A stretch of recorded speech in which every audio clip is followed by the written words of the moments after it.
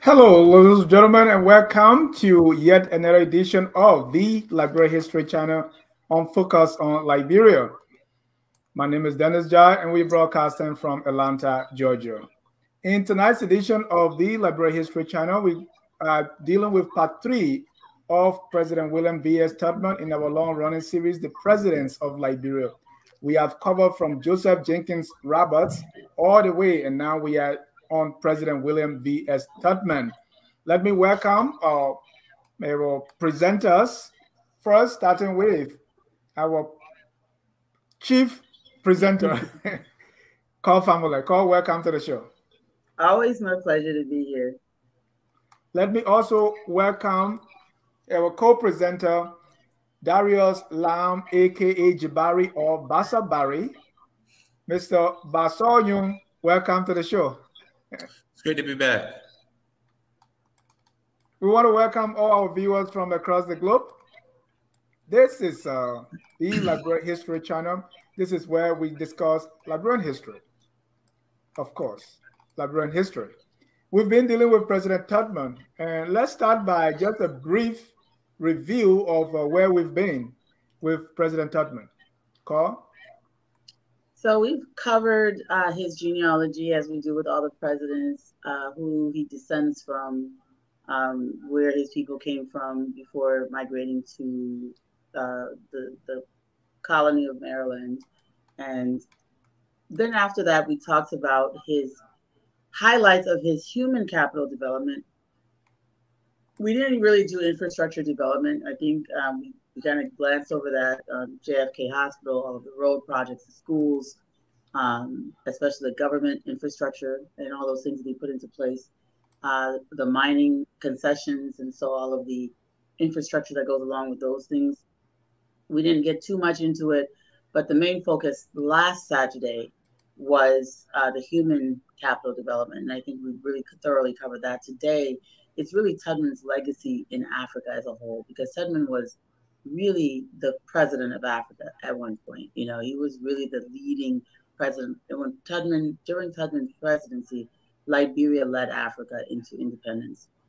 And that is not something uh, that we really talk about. And uh, even other African countries, because of our own um, issues we have in Liberia, our failure to recognize and acknowledge uh, anything positive about our country and its contribution to other parts of the world. Because of that, the rest of the world also ignores Liberia's tremendous contribution to African liberation. Thank you.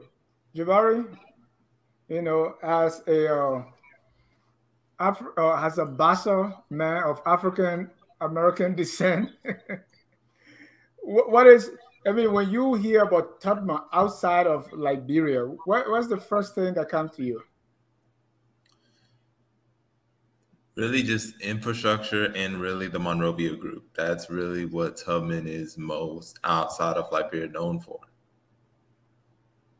The Monrovia group. Carl was telling you that I, I represented my high school and we're discussing this thing. and I look back, you know, how I I was so not happy with Tubman. yeah. And, and when yeah. you when you are young and you're full of energy and you are presented with you know this thing, you read about them, and you you don't even care for the nuances, right? You're going full mm-hmm. blast, and so I remember my energy, and, and I look back and say, well, I think I did a good job. But let's hear from someone who has done little more research and able to present us with even new information. Let's yes. get this going. And we want to welcome our viewers from across the globe. Please uh, invite a friend. These things have not really been taught in Liberian schools. And so this is a perfect opportunity for all of us to be informed about our country. Presidents of Liberia series, we started with Joseph Jenkins Roberts. So it has taken us a long time. Now we are at President Tubman. Most likely, we're going to be stopping, you know, at this point, President Tubman so that we leave uh, the most modern presidents with our current, uh, you know, situation. Yeah. people know a lot about the rest of the people or the presidents, and so we may likely not go further than President Tubman. But let's mm -hmm. put on President Tubman, Tubman tonight. Yeah, so when when uh, Tubman took over, as we discussed in the previous episode, um, Liberia, Ethiopia, Egypt, and South Africa were the were the only independent countries on the continent of Africa. Everything else was basically an extraction and exploitation center for Europe and, and for European powers. Um, Tubman took over Africa at a period when many African leaders uh, for the other independent states, especially I mean South Africa is counted in that, and they had just you know gotten their independence from the United Kingdom. But as we know, the majority of the people in South Africa um, were trying to get their independence from the people who got the independence from the United Kingdom, the Boers and whatnot, that have been there for many generations. And you had Egypt, which, though Egypt was independent, you had an invasion of Arabs that had happened, you know, several hundred years earlier, and there was much chaos there as well. Um, Ethiopia had many tribal issues, um, the Amharic people being the ruling class, and everyone else having absolutely um, almost being non existent as far as the government was concerned. And you had these issues going on that were very extreme in these independent countries. So Tubman takes over at a time when he's very suspicious. So of Arabs and what we can term Asiatic Africans, Arabized or Africans that seem to have Asian, strong Asian um, ancestry. As we all know, during this time period in the 1940s, Ethiopians generally considered themselves something other than Negro. They called themselves white Africans. They called themselves uh, dark skinned uh, Caucasians. Dark skinned Caucasians. They called themselves Hebrews. They called themselves many, many things other than identifying with the stereotypical Negro um, sub Saharan African. And then you have South Africa, which is extremely white supremacist and outlawed intermarriage between white people and anyone else. It was illegal to even live in the same communities. It was illegal for Black South Africans to attend schools with white South Africans. It was illegal for Black South Africans to be in white South African neighborhoods, to attend church with them. These were laws that you could be convicted, prosecuted, I'm sorry, prosecuted, convicted, and imprisoned for breaking. And all of the Black South Africans were removed from their traditional land and placed in townships. Mm-hmm. What they call Reser- reservation style badlands that did not even have, um, you know, places to farm and I just skimmed over Egypt a bit because people have a tendency to believe that Egyptians are Arabs. The people who conquered Egypt are Arabs. And so they did a similar thing to and almost wiped out almost a genocide against the indigenous people of, of, of, of Egypt. There are still remnants and pockets of them existing, but it was almost a complete wipeout of that population. So you had a situation where Tubman, being a president of a country that was established essentially to unite Africa. We don't really talk about that in Liberian history, but the whole purpose, Liberia was really supposed to be the continent of Africa. If you listen to those early speeches of Joseph Jenkins Roberts, they wanted to unite the entire continent under one umbrella of Africanism. Tubman, at this point, fast forward to 1944 when he takes over, he's very, very suspicious and uncomfortable with the, the Muhammad uh, Yusuf of, of Morocco, who was the king of Morocco, the ancestor of the present king of Morocco, or the grandfather, I should say. So there's a lot of um, uh, what is the word I'm looking for? Apprehension. Tubman did not feel, uh, and he articulated this. He didn't think Arabs were black people, and like we was a Negro nation, and he really was suspicious of them. I want to over over. Other people were not necessarily as racial in their approach. Jabari, would you like to add anything? I'm trying to be very diplomatic here.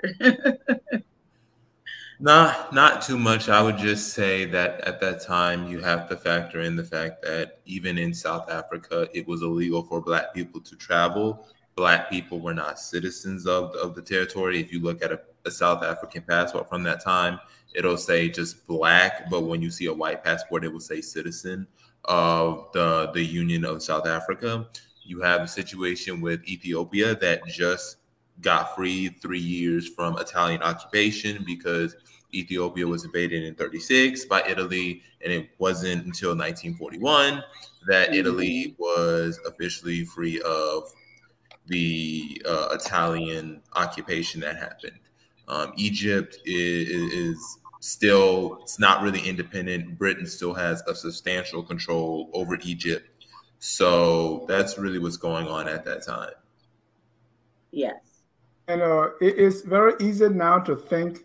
I mean, like at the time Tubman took over, basically you just have these uh, very few independent countries that you can count right. on one hand, not even one hand. This with, is with very serious racial problems, right, and very serious ethnic problems.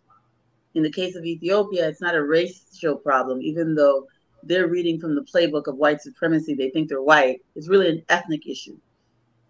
So they're the Amhara are different from you know the Eritreans and all of these people that have subsequently broken away the Oromo and all these other ethnic groups, large ethnic groups that were in Ethiopia, were all being subjugated by the Amharic for for many centuries actually. So there's hundreds of year old ethnic tensions in Ethiopia, hundreds of year old genocide and, and serious suppression in Egypt of the indigenous Egyptians. There is a well, it is apartheid in South Africa, which we, we thoroughly described, and and so you have Tubman looking at these other free countries, even though he did, you know, connect more with Haile Selassie than the others, because Tubman saw Selassie as, as an African, and the independent states, um, he didn't really see them as being African states. Oh, in Egypt, uh, just 100 years ago, was um, under Ottoman rule. So we, it hasn't been 50 years since Egypt uh, was um, taken from the Ottoman Empire. It used to be part of the Ottoman Empire until 1896 when Britain took right. over. Right. So. so. yeah. So they the the Arabs who were being anyway. Does yeah clarification. Yeah.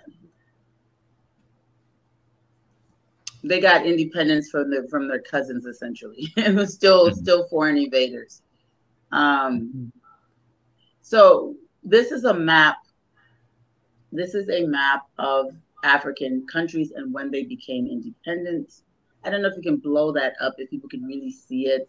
I mean, mm-hmm. you've got Morocco, which is a significant part of this presentation, 1956. So Morocco didn't get independent until 1956, along with Tunisia. Libya was much earlier, 1951, right? And then you have of course, Egypt 1922, which we've already said was already independent. Um, and then at the time of Tubman, Eritrea was not separated from Ethiopia. So, and neither was, um, you know, some of these countries, Djibouti, these are new countries. But you had Sudan, um, was 1956, and this is before there was North and South Sudan. Um, I'm just pulling out relevant things to the Tubman era. Um, Somalia, 1960. Um, Ghana, 1957. Sierra Leone, right. 1961, Guinea, 19. Let yeah, let's go over to West Africa as Jabari is doing. And the reason I did all of these other countries first is because the idea of independence, even before full-on colonialism, the idea of a modern African state was born in Liberia. And from Liberia, and because it was born in Liberia, after the 1880s, after the Berlin Conference, we've discussed this numerous times and dissected this. Liberia becomes the target of an international embargo, trade and economic embargo, because of what it was representing. It represented, it was an affront to global imperialism of Europe and her her children, her descendants, right? Liberia represented everything that they wanted to avoid. So the entire time, Liberia remains independent, even though it loses a third of its territory or more, even though Liberia remains independent. And because it remains independent, it continues to be a target because it is an inspiration to others. Unlike Ethiopia, unlike anywhere else, which got independent much later, of course, the other countries. But unlike Ethiopia, which was a kingdom, really old, you know, um, monarch, here is Liberia with actual laws where this they have citizens who have rights that the, are not bestowed upon them by a king that can give them and take them away at will. This is an incredible thing. And so it is a constant thorn. Liberia represents a constant thorn in the side of colonialism. This is why it has been attacked. This is why every presidential uh, uh, series we go through, it's always a repetition of a nonstop, consistent, and continuous bombardment of economic, uh, inform- uh, economic attacks, physical attacks, disinformation attacks, anything that they can do. It has been a target of every divide and conquer campaign you can imagine Liberia has been. So it becomes a situation where, in spite of all of that, it still serves as a beacon of hope for everyone else. And after World War II, and Europe becomes weaker, and after the 1920s and 30s, especially after 1943, when Europe recognizes that, hey, the United States of America was able to economically annex a politically independent country. The United States of America was able to get, you know, not didn't have to take away Liberians' semblance of sovereignty. They could let them believe they were sovereign politically and then take away their economic self determination, which is the, the, Achilles heel of a nation.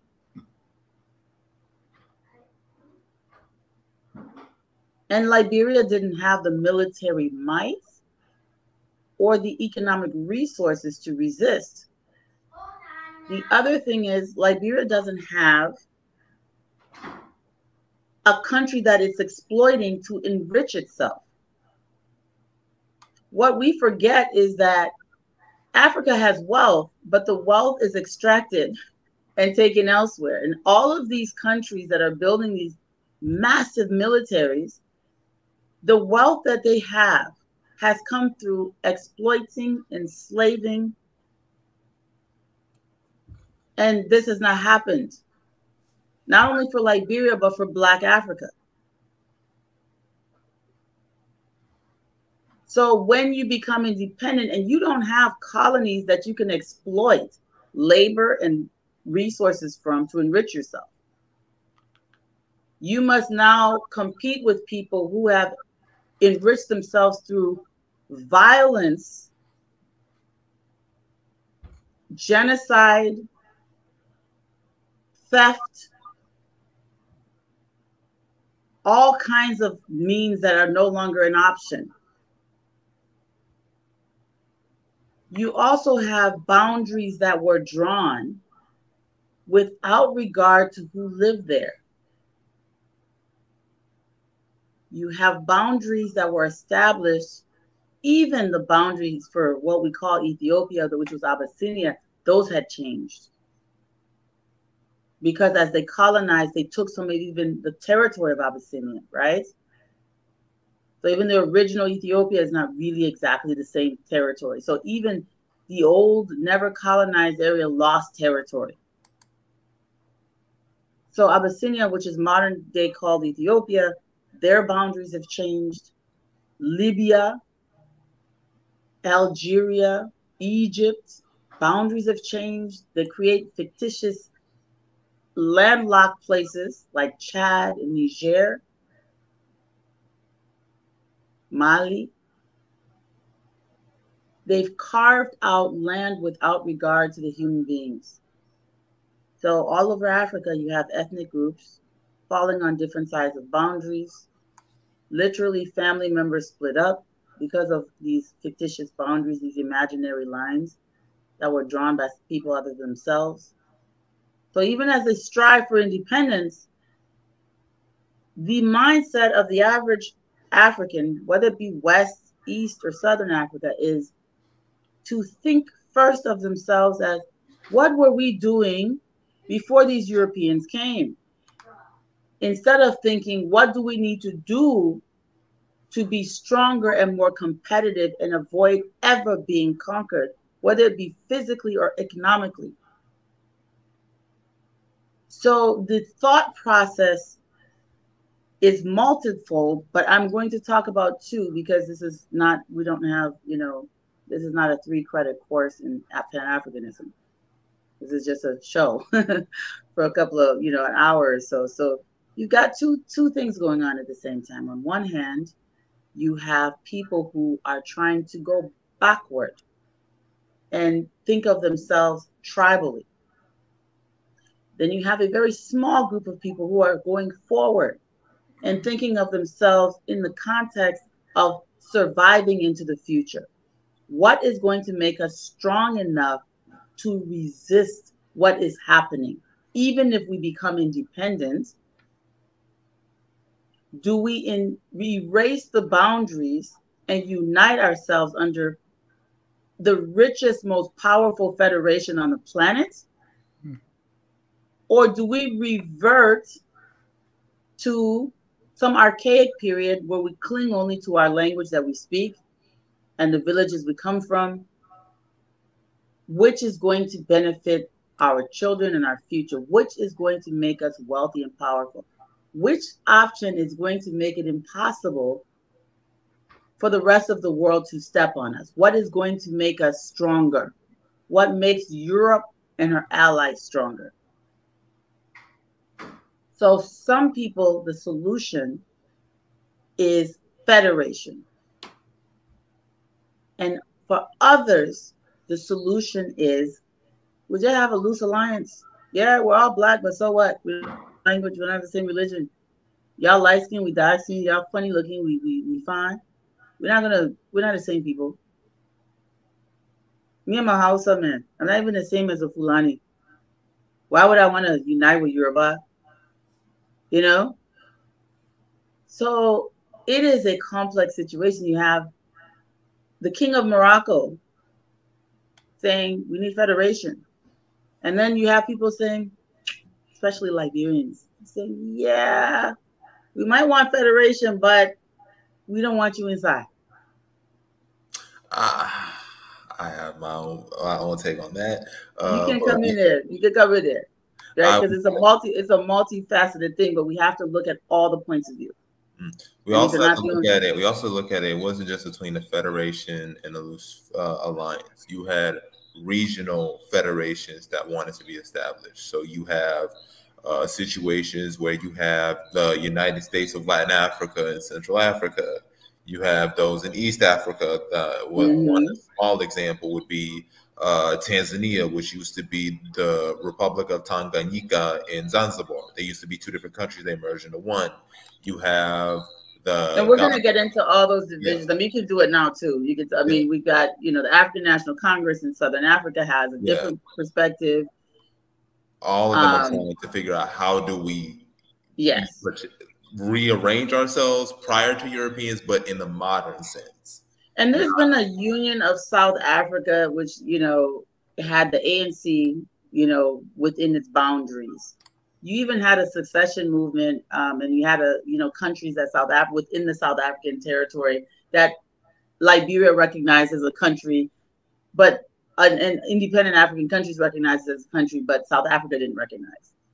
You know, so you had all kinds of stuff going on, and the the, the main issue really is trust and this the idea that even before colonialism in fact, colonialism was possible because African people were so easily tribalized, so easily convinced that the reason they were suffering was because of the language they spoke and not because they were black. It was so easy for them to suppress and oppress Africans based on them being black, but also tell Africans, no, no, no, it's those Bantus over there, they're the problem.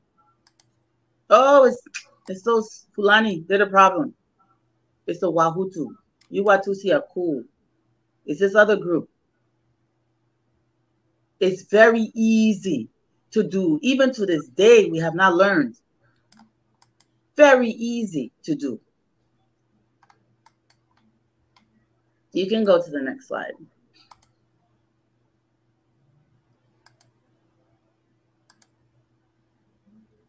So before before I, I really um before I even get into this so much, um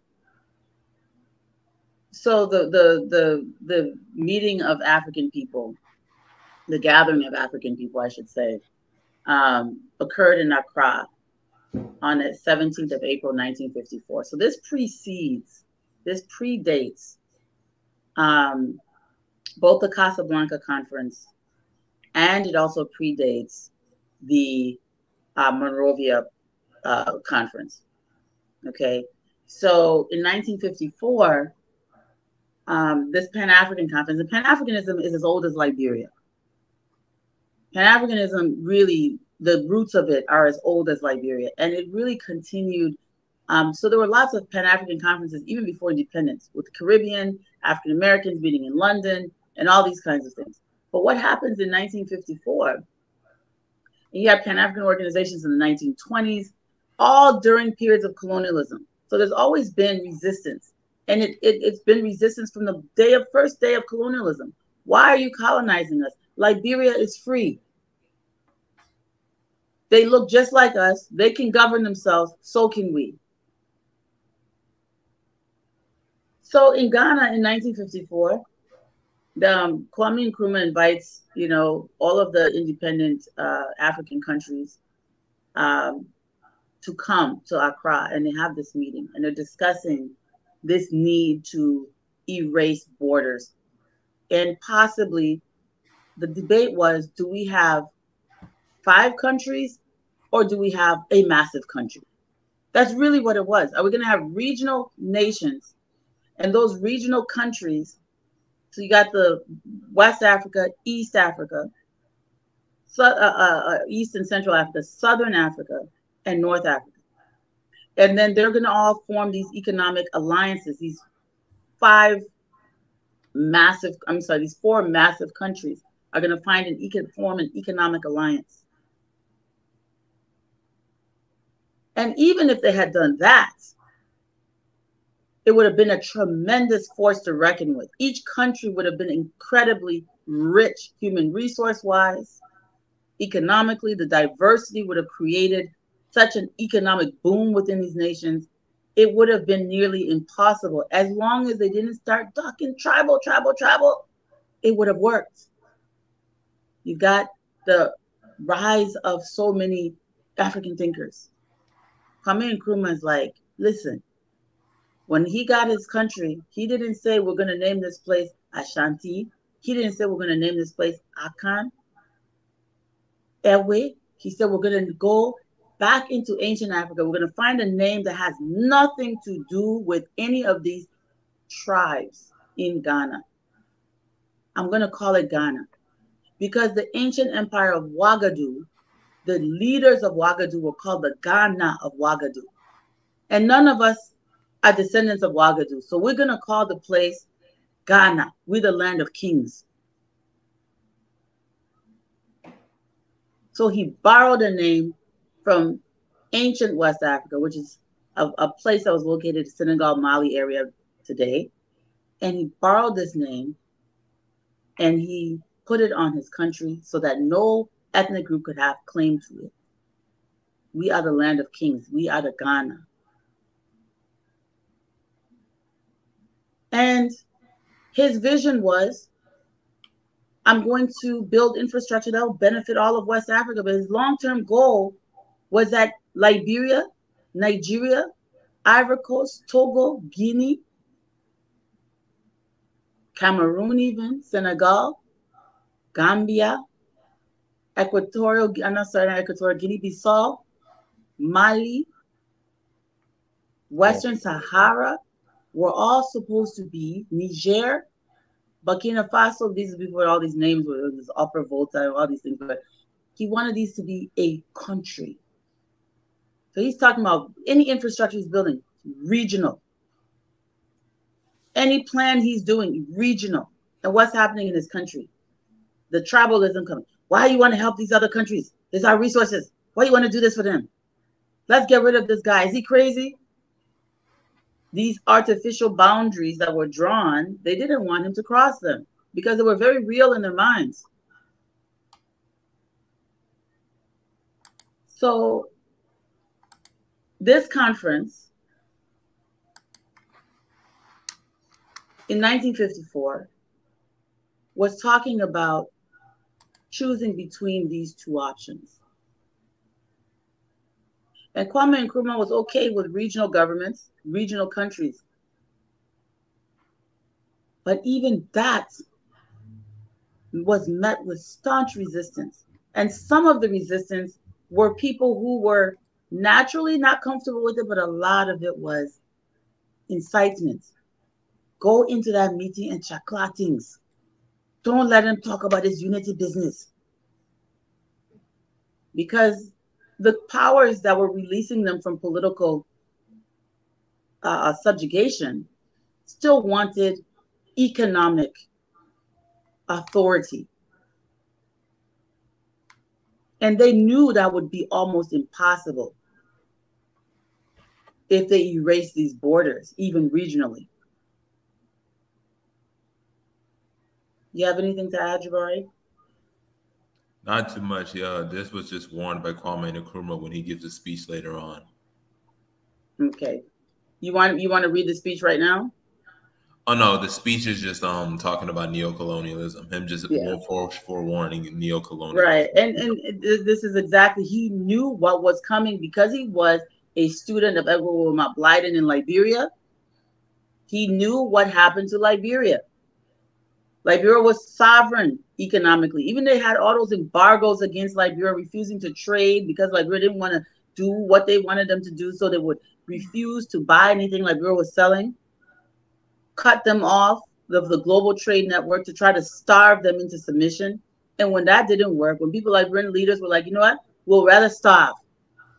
We are men. We are not slaves again. We're not going to allow you to conquer us. If it means we starve, we starve. And they said, but what kind of hard-headed people are these? Okay, since they're so tough, we'll economic, we'll stop the economic sabotage and we'll work to economically annex, which is probably the worst form of sabotage. I think the embargo is better. Earlier in the class, Jabbar, we're talking about covert and overt, right? The embargo was an overt, uh, an overt sabotage of Liberia's economy. But the economic annexation and the bringing in of Firestone and other concessions was a covert sabotage of Liberia's economy because it came in like a good thing, like a gift. It came in like a gift. We're going to create jobs. And y'all been suffering under this embargo. Your people didn't have jobs. You guys hardly had revenue. And, you know, all these little skirmishes on the Kru Coast we might have had something to do with that, but we'll stop doing that if you guys cooperate. So now, now they have figured out the formula. Get, let them think that they have political autonomy, but it's really cash that rules the world. It's the economy. It's the land sovereignty. And even if you don't allow people to own land, if you give them dominion over the land without ownership, it's the same thing. If you give them all of your iron in your mountain for little of nothing, if you give them your agricultural land and let them grow rubber and exploit the raw latex out of your country, it's pretty much the same thing. So they knew because of what the United States successfully did, the brilliance of Roosevelt, President Roosevelt and Hoover, you know, before him and everyone else, they knew the formula. The French, the British, they knew the formula. They knew that they could continue to extract and exploit, even if they pretended to not have political control. Next slide, please.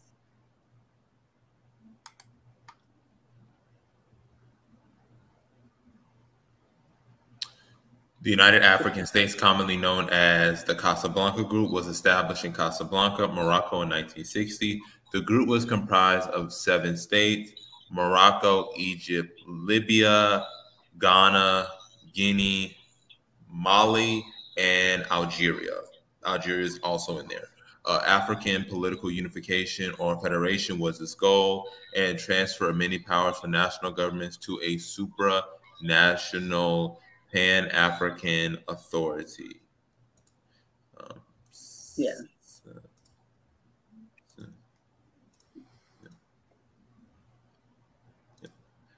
So supranational, a supranational Pan African Authority just basically means that you would have states as a federation, yeah. and inside the federation you have each state has some, and so they're recognizing these colonial boundaries as states, but there is going to be a supernatural national, which means that it is a federal centralized authority, which everything feeds into.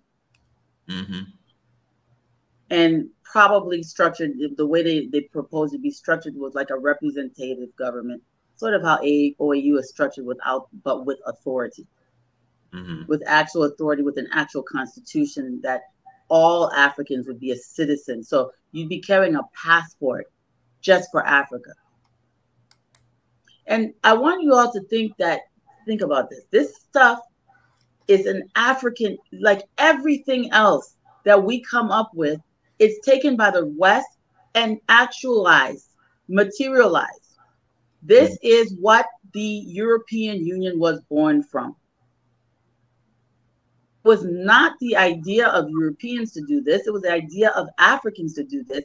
The Europeans sabotaged it and brought it into existence for themselves because they knew it would make them more powerful. Mm-hmm. They sabotaged it for Africa and had Africans running around talking about tribalism, and they took it for themselves where they really actually have tribalism with all of their world wars, their big, gigantic, bloody tribal wars that they've had, they were still able to transcend that and unite around their Europeanness in order to maintain and sustain their economic grip on the planet. Power only works when you have numbers okay, you can have your little tribe. Your tribe doesn't mean anything against a more powerful entity that has larger numbers. It doesn't matter how hard you want to claim cling to it or claim pride. The reality of it is numbers always will beat you. And more people means more power, which means more output, which is why it's better to have a unified or, or united front than individuals. So yes, exactly, Jabari. So what Europe did was they redefined their tribe. They redefined their ethnicity. So that if you're Italian or you're French, you're just a subset of a greater umbrella, which is to be a, a Western European. And they tell the world this is the pinnacle of it. So where they used to be rivals, they are now admiring each other. You now have free passage between the countries. Italians go to France for the weekend everyone get jobs anywhere they want to they go the- move around and work and now their economies which were being stifled a bit are now stronger the euro is strong because europe is united. Western europe is united so the euro is strong. And this is not their idea. This was an african concept in it was created in resistance. So the, the tool, the mechanism we created for our liberation was sabotaged and used by our oppressors to strengthen themselves even more and fortify themselves even more. Mm-hmm. Right. And, And, and called, that, that's the debate. That's the debate people continue to have, right? Because the idea that, well, this was our idea. Somebody came and sabotaged it because we didn't. We were babies, and but they took it, perfected, and actualized it, and now they are benefiting from it. Here are we in disarray. We are so poor. We are not united. I mean, how how do we really say that? Wait, right. say that again, Dennis. I didn't understand. Right. What, what I mean is, uh, even today, it's like we are blaming somebody else, right? Like, okay, this was our idea, but we were not smart enough to uh, maintain it. Somebody came sabotage us, took it, perfected, actualize it, and now they are benefiting from it. So I don't think it has I don't, nothing. I don't, I, I don't think.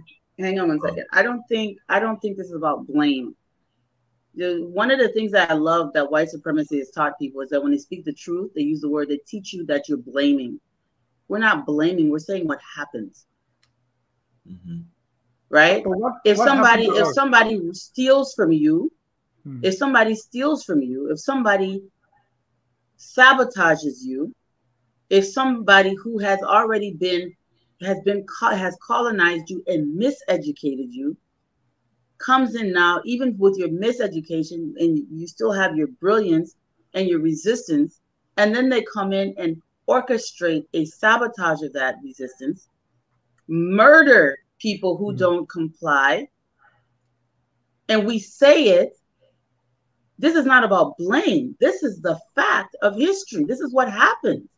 Sylvanus Olympio, Patrice Lumumba, who else? Samora Machel. I mean, we could we spent two hours listing the casualties of this war that was waged against us. How can someone wage war against you? You say it, then you say you're blaming the people that waged war against you. Somebody invades you, kills your leaders. Every time your leaders rise up, they kill them. Then you say you blaming. Blame is not a word.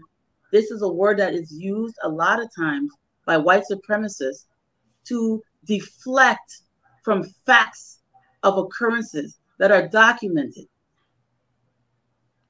We are not here to blame or absolve anyone. We are here to talk about what occurred in history. And even if you were, even to, to your point, if we were to use it to today, that has to do with will and carrying on the torch. Okay, let's we got our independence 60, 63, some of us 70 years ago. If we really wanted to today, we could do it. It's a matter of will. Dude, you have the will to do so. We can't you you, you can't get upset. Like, do we have the will? You make it as hard as possible for other Africans to travel with to another African country. When you are putting up as much barriers economically to trade with your they're make, putting up barriers inside the same the countries you talk about even internationally there's barriers inside the countries mm-hmm. and the, the, the thing is there's barriers in the countries We're always this is not about being smart or not being smart mm-hmm. this is about understanding intelligence is relative. It's a matter of understanding and rethinking. Just because uh, you know if you have been educated in a certain way and convinced a certain way and also convinced that nobody's waging war on you that's the biggest accomplishment of imperialists is they convinced people that there's that it, that it doesn't exist mm-hmm. that is some fleeting thing of the past while they're continuously manipulating mm-hmm. extracting and exploiting Look at what's happening in Congo. So, so how have we come to this point what, where, where we are so weak, easily manipulated and exploited? How did we get there? It's a it's a multiple approach. So, so, so go before you come into I'm sorry. You're asking how we got here, as, right. as if you're asking for your audience eh, that hasn't been following the show. I mean, because the History Channel is clearly laid out how we got here. We've clearly laid out how our empires crumbled. We've clearly laid out how white supremacy was created to justify slavery. We've clearly laid out how education was structured to convince Africans of their own inferiority through church based, faith based education. We've clearly laid out how petty medial differences between us have been exacerbated and exaggerated in order to make sure that the disunity continues. We are constantly looking for scapegoats for our condition everywhere except where it needs to be placed. Somebody comes in in, in this this this this this place. You, Jabari and myself are sitting here. They hit everybody over the head. They take all of our possessions. The three of us left here with empty hands and you start fighting Jabari, I start fighting you. You leave Jabari, you start fighting me, I start fighting Jabari. And then the people who've taken everything are sitting there. They come in as the referees, and we say, "Yeah, that's what's happening." Mm-hmm. And we can't let go because it's been so ingrained in us that things that are not going to carry us into the future are more important than our future. They would rather hold on to fictitious boundaries drawn by colonialists mm-hmm.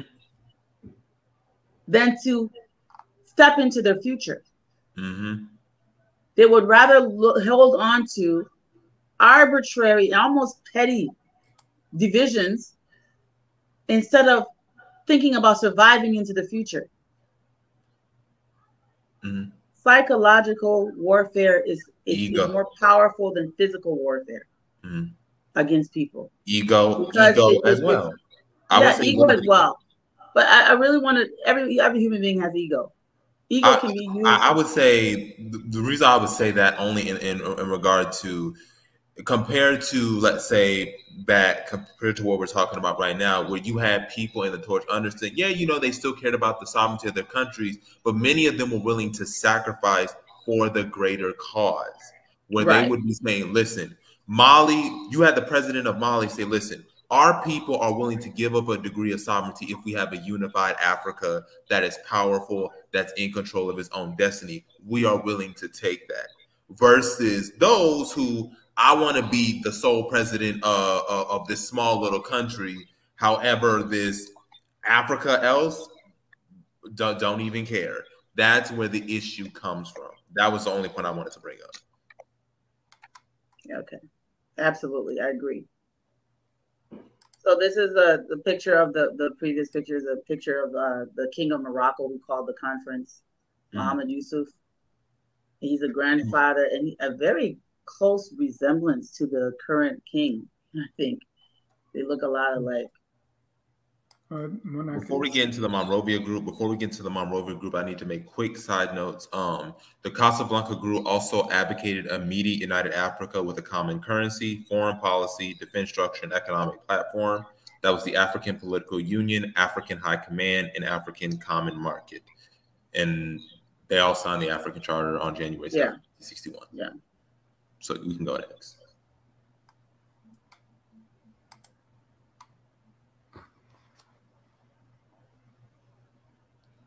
The Monrovia Group. Yes. So I hope you guys are really, I don't know how well you can see the pictures, but um, these are some really powerful pictures. You know, before you get into the Monrovia Group, Tubman was the Don Dada of all of these Africans. Selassie was a whole emperor.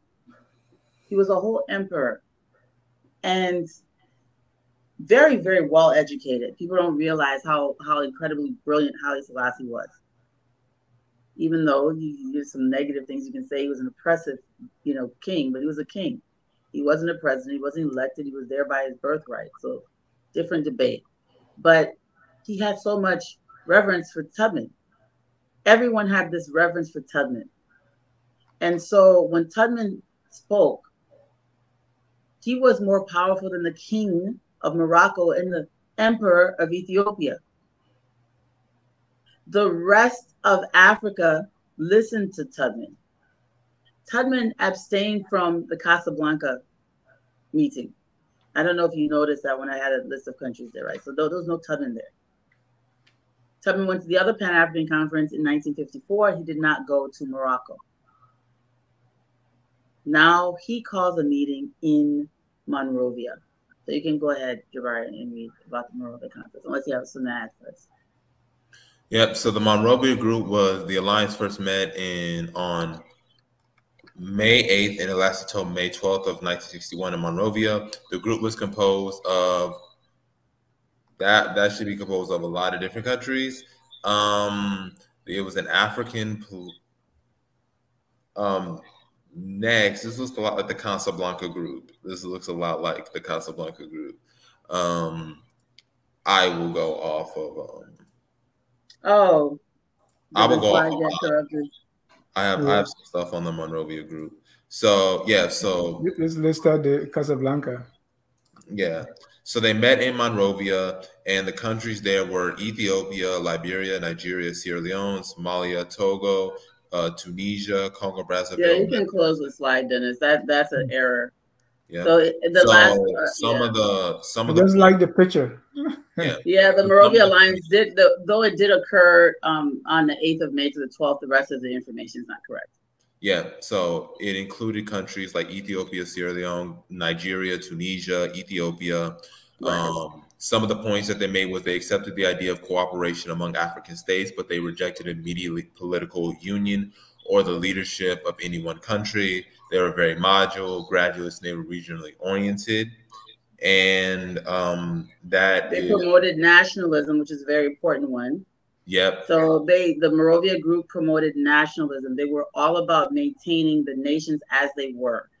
yep, So this was the biggest distinction, is that the Morovia group was not in favor of merging countries. Mm-hmm. Yep. So the Monrovia Conference, they said the unity is that aim to be achieved at the moment is not political integration of sovereign states, but unity of aspiration and of action considered from the point of view of African social solidarity and political identity. And the president, Tsiranana, Tsiranana of Madagascar, he said, "We contend, we intend to conserve the total sovereignty of our states. I should underline that our adhesion means, by the same token, a rejection of a formula for a federation of African states because federalism presupposes the surrender of a large part of national sovereignty. Similarly, we would reject a confederal formula, seeing that the authority we superimpose on the states might impose demands which would be unacceptable for certain of us. Yes. Now, here's here's the here's the thing that so the, the big distinction here to simplify it is that you're talking about maintaining the, the existing colonial boundaries. You're talking about a bunch of people who um, have taken power and they do not want to relinquish power. This really is not about national sovereignty. This is about everybody wants to be king. Yep, Everybody wants to be king. yep. That's yep. really what it boils down to. Every so this whole nah, we would go with decentralization because we want to localize power. It's really because everybody wants to wear a crown. Yep, it's everybody not wants because to. it's what's best for the people.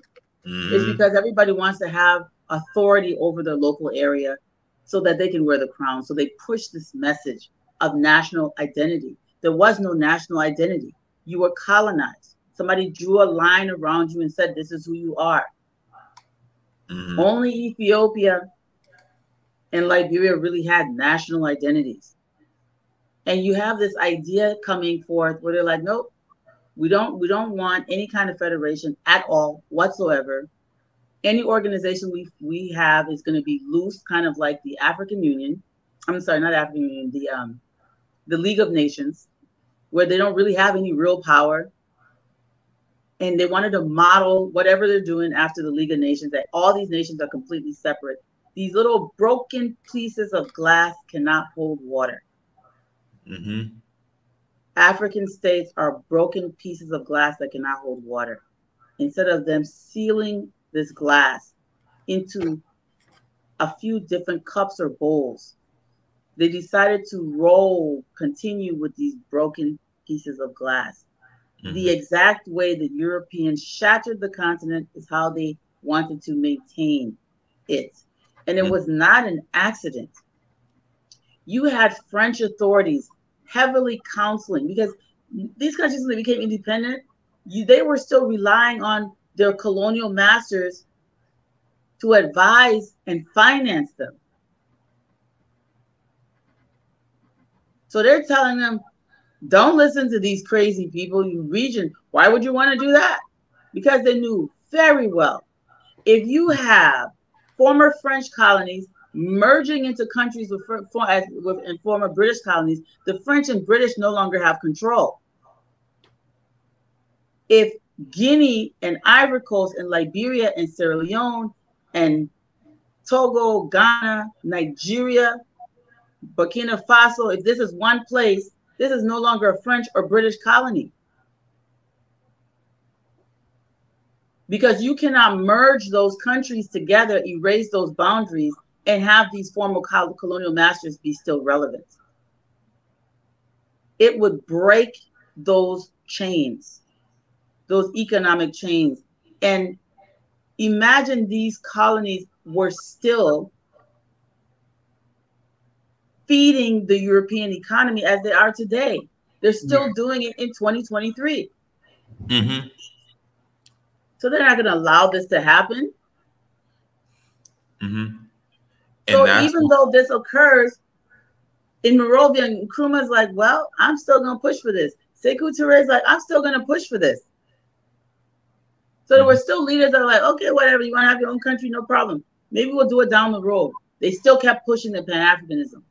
So the Monrovia Conference was anti Pan African unity. Mm-hmm. And, and, what was Tubman role? Because as a young man in high school, I learned he was being used by the, um, the United States. Tubman,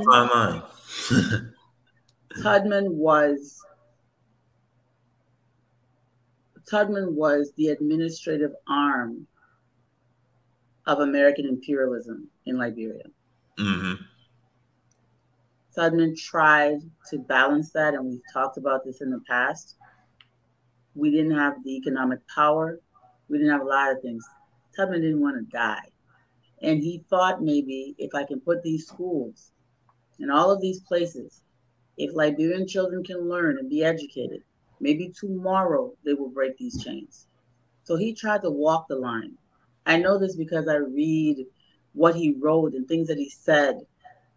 He really believed that all of these education initiatives, the human capital, he thought that these faith based education initiatives that he promoted and grew under his administration would position the human capital in Liberia to be able to solve the problems that his generation could not solve. And unfortunately, it was a bad miscalculation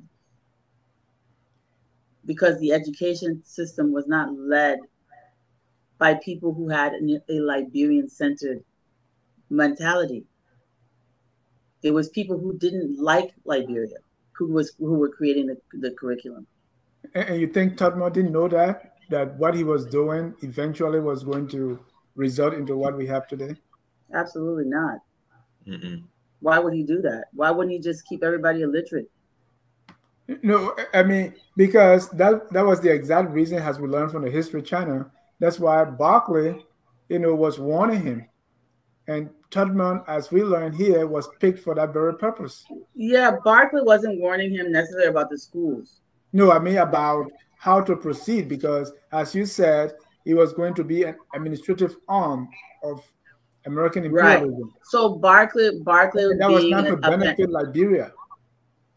Okay, I'm sorry. Ask ask the question again. I thought you were talking about something else. No, not something else. I, I mean, because the whole idea of going against the uh, United States or the supranational government, I said mm-hmm. it was Tubman being manipulated, and he knew what the uh, the the end result would be. That is, it's not going to be good for Liberia, but he took it anyway because of his own selfish ambition and what he would get. The end result of what? You talking about Firestone?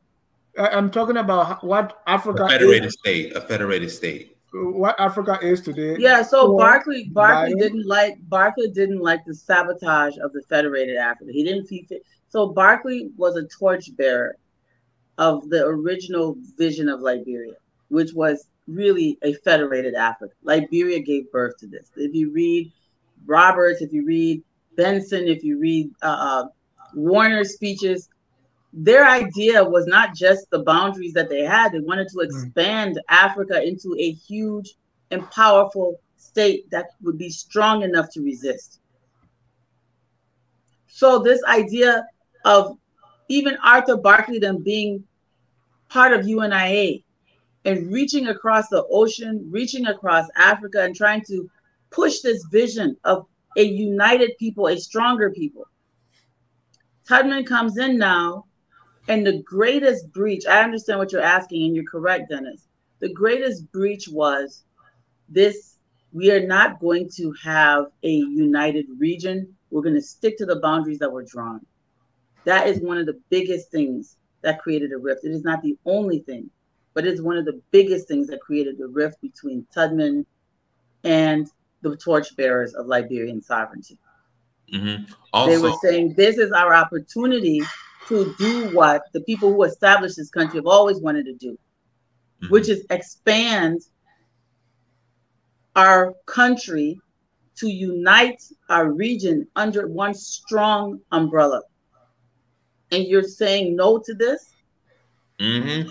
Mm-hmm. We have we have so much. We have Dossen who said that uh, in in his speech, he said uh, he dreamed of seeing a West Africa like an ECOWAS with Monrovia, Liberia, being the center and the capital of it. And this was back in the 1920s. And, and every yes, and everyone. Sorry to cut you off, Jabari. I just wanted to say this real quick. Everyone, even if you go back to the 1800s, the 1870s, 1880s, even King Samori Toure said, Liberia, I am waging a war of unity. Join me. We said this in the Samori Toure episode, if you can remember, Dennis. Mm-hmm. This is what you wanted. Join me mm-hmm. to unite our people mm-hmm. under this Mandinka empire. It's, it's, it's, it's, it's, it's it's something that Tubman did that many felt. And Barclay being the torchbearer for his uncle and Dossen.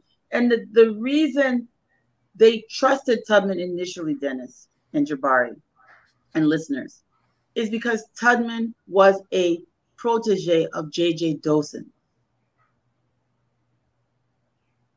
This is one of the reasons Barclay thought that Tubman was going to do what he wanted, what, what, what everybody was expecting. Remember, we talked about how he admired Dossen so much. But for some reason that I cannot even begin to speculate, Tubman did not follow through. And maybe, like I said, maybe he didn't want to end up dead, like Nkrumah. Mm-hmm. I mean, he died eventually. We always say this on the show. Everybody's gonna die anyway, but he ended up dying. But not, you know, maybe he would have died sooner. Maybe he didn't want to die in 1960. You know, but that extra 10 years he lived, for what? He could have done something that would have changed the course of history mm-hmm. for Black people around the world.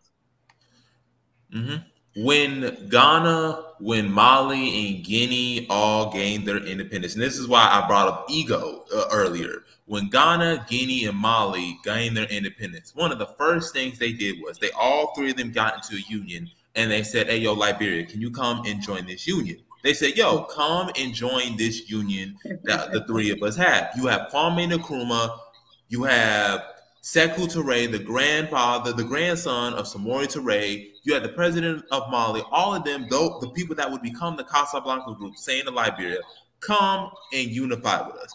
Come, let's unify together. And Tubman says, uh-uh, I, I want a, a commonwealth of independent African states. Which not means, even really a commonwealth, is nothing. Yeah. he wanted nothing. he wanted, he wanted, be, he I, wanted what we have today. I want to be the president of Liberia. That that that the King statement. I'm the president of Liberia, not the president of the black race type motto. I want to be the president of Liberia for my own power, my own ego perspective, but I don't care about the greater good of the continent of Africa. Because he was because he was a puppet of the of the West. Yes. And because of that, because of that, I want to be just the president of Liberia, or I want to be president of this small country that was artificially bordered, created. It makes you vulnerable. What example? Zimbabwe is a prime example of why you need a united Africa. When Zimbabwe said, we are going to take back our land, we want to get the resources, take our own destiny, boom, all those European nations instantly slap sanctions on them. Because you don't have a united Africa, Zimbabwe is completely vulnerable. And as a result, the economy crashes. So you have economic embargo against Zimbabwe executed by its neighboring countries, which supposedly have black governments, mm. because they don't control their own economies. Mm-hmm. So economic embargoes, you know, basically starvation. They're going to starve you out of, you know, and and it's unfortunate. It's unfortunate.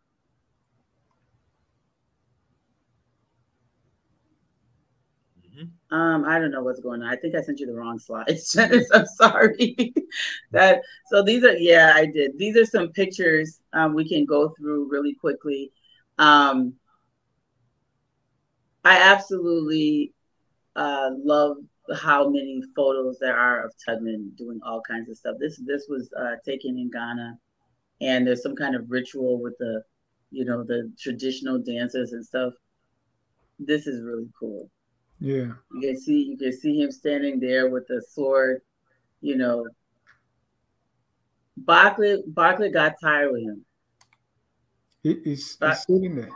Yeah, Barclay got tired with him, and we talked about you know the Barclays and the the fight coming. And then this, of course, is a very powerful, um, a very powerful picture of, of uh, Jomo, the great Jomo Kenyatta, with uh, with Tubman. And one of the things I want you to know is that Jomo Kenyatta was, of course, one of the greatest Pan Africanists that ever was. Such a decent testament to um, to African unity, um, such a testament to um, the liberation of, of East Africa. And he serves as an inspiration even to this day for people like uh, Paul Kagame, and many, many others. Uh, he's there with his European style crown on his head, though, because again, he's a product of colonialism. And that's what we like to mimic. Um, but he was he was actually one of the great thinkers and forerunners of African thought. Uh, this particular picture um, was taken in 1964 and you've got uh, um, who is this again? I think this is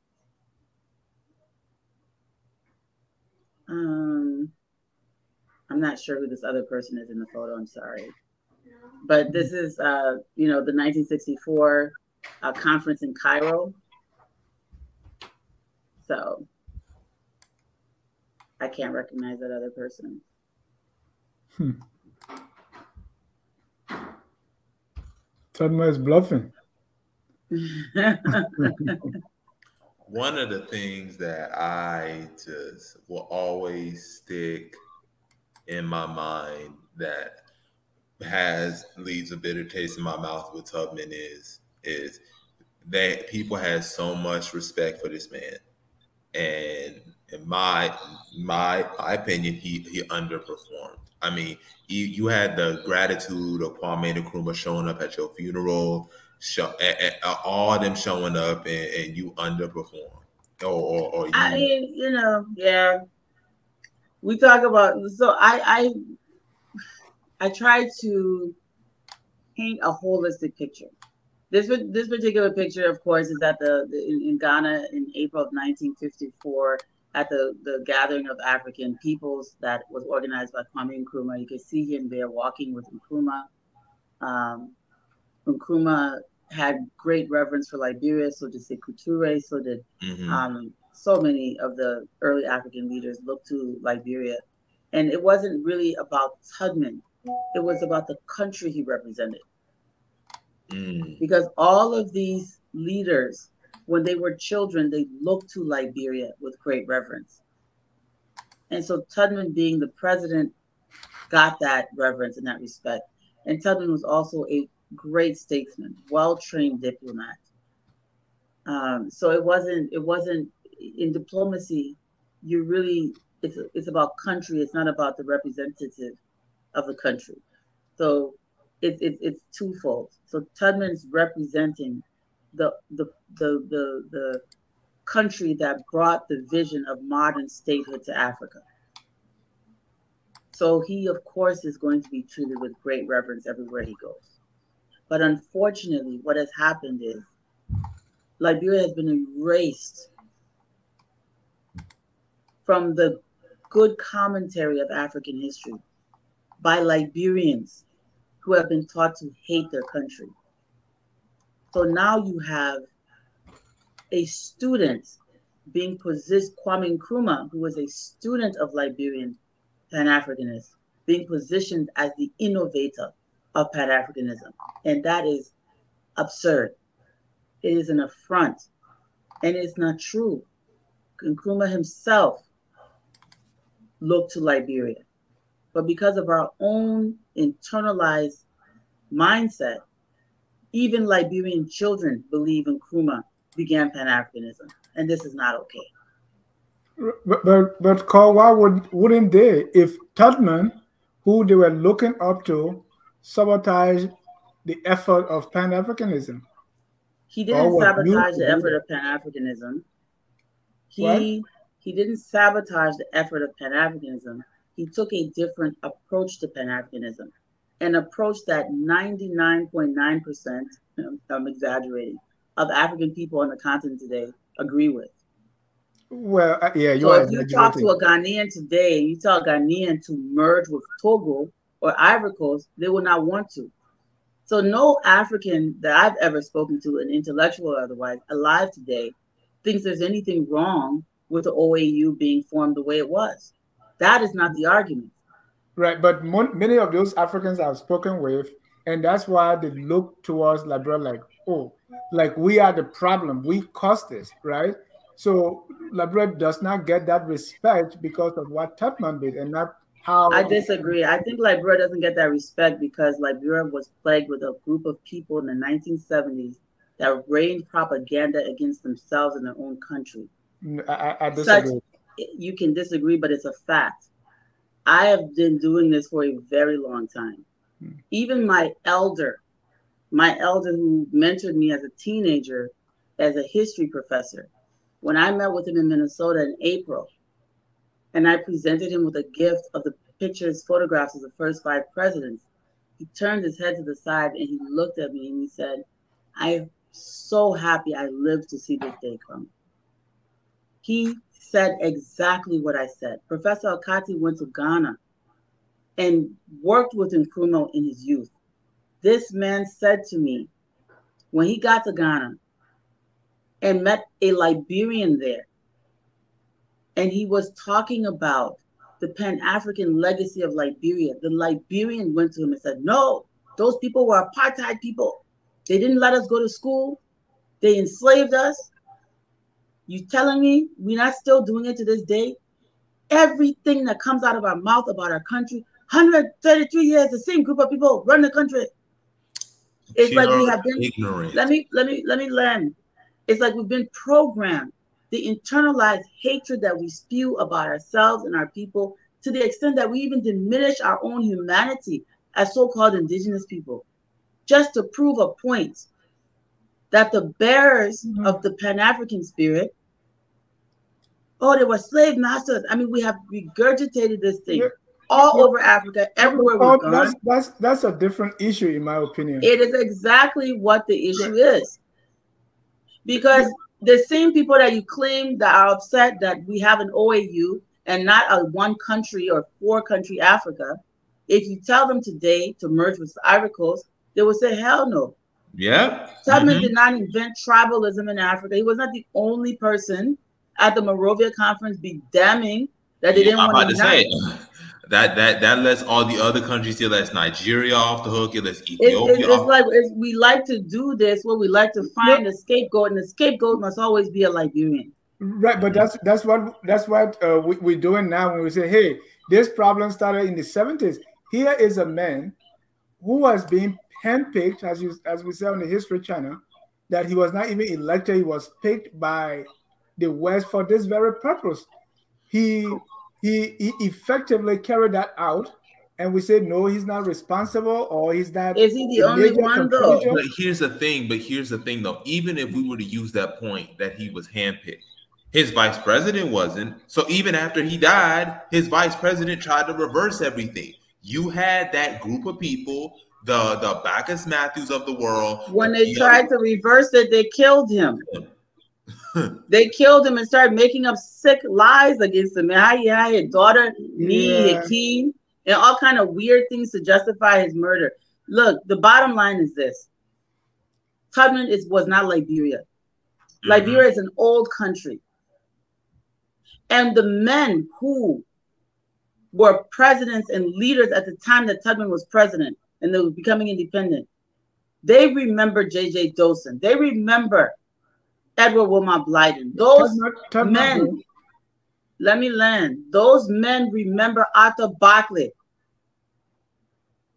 Mm-hmm. Nigerians still talk about Liberian people that preceded Tubman. You understand? Mm-hmm. So now Liberia has been erased from the respectable commentary of African history because we have learned to demonize our country. It's on and, autopilot and encourage others to do so. Mm-hmm. Yeah, it's an and anytime you try to, to the if you try to say one good thing about Liberia, the first people who get emotionally triggered are Liberians. Mm-hmm. We have to ask ourselves why.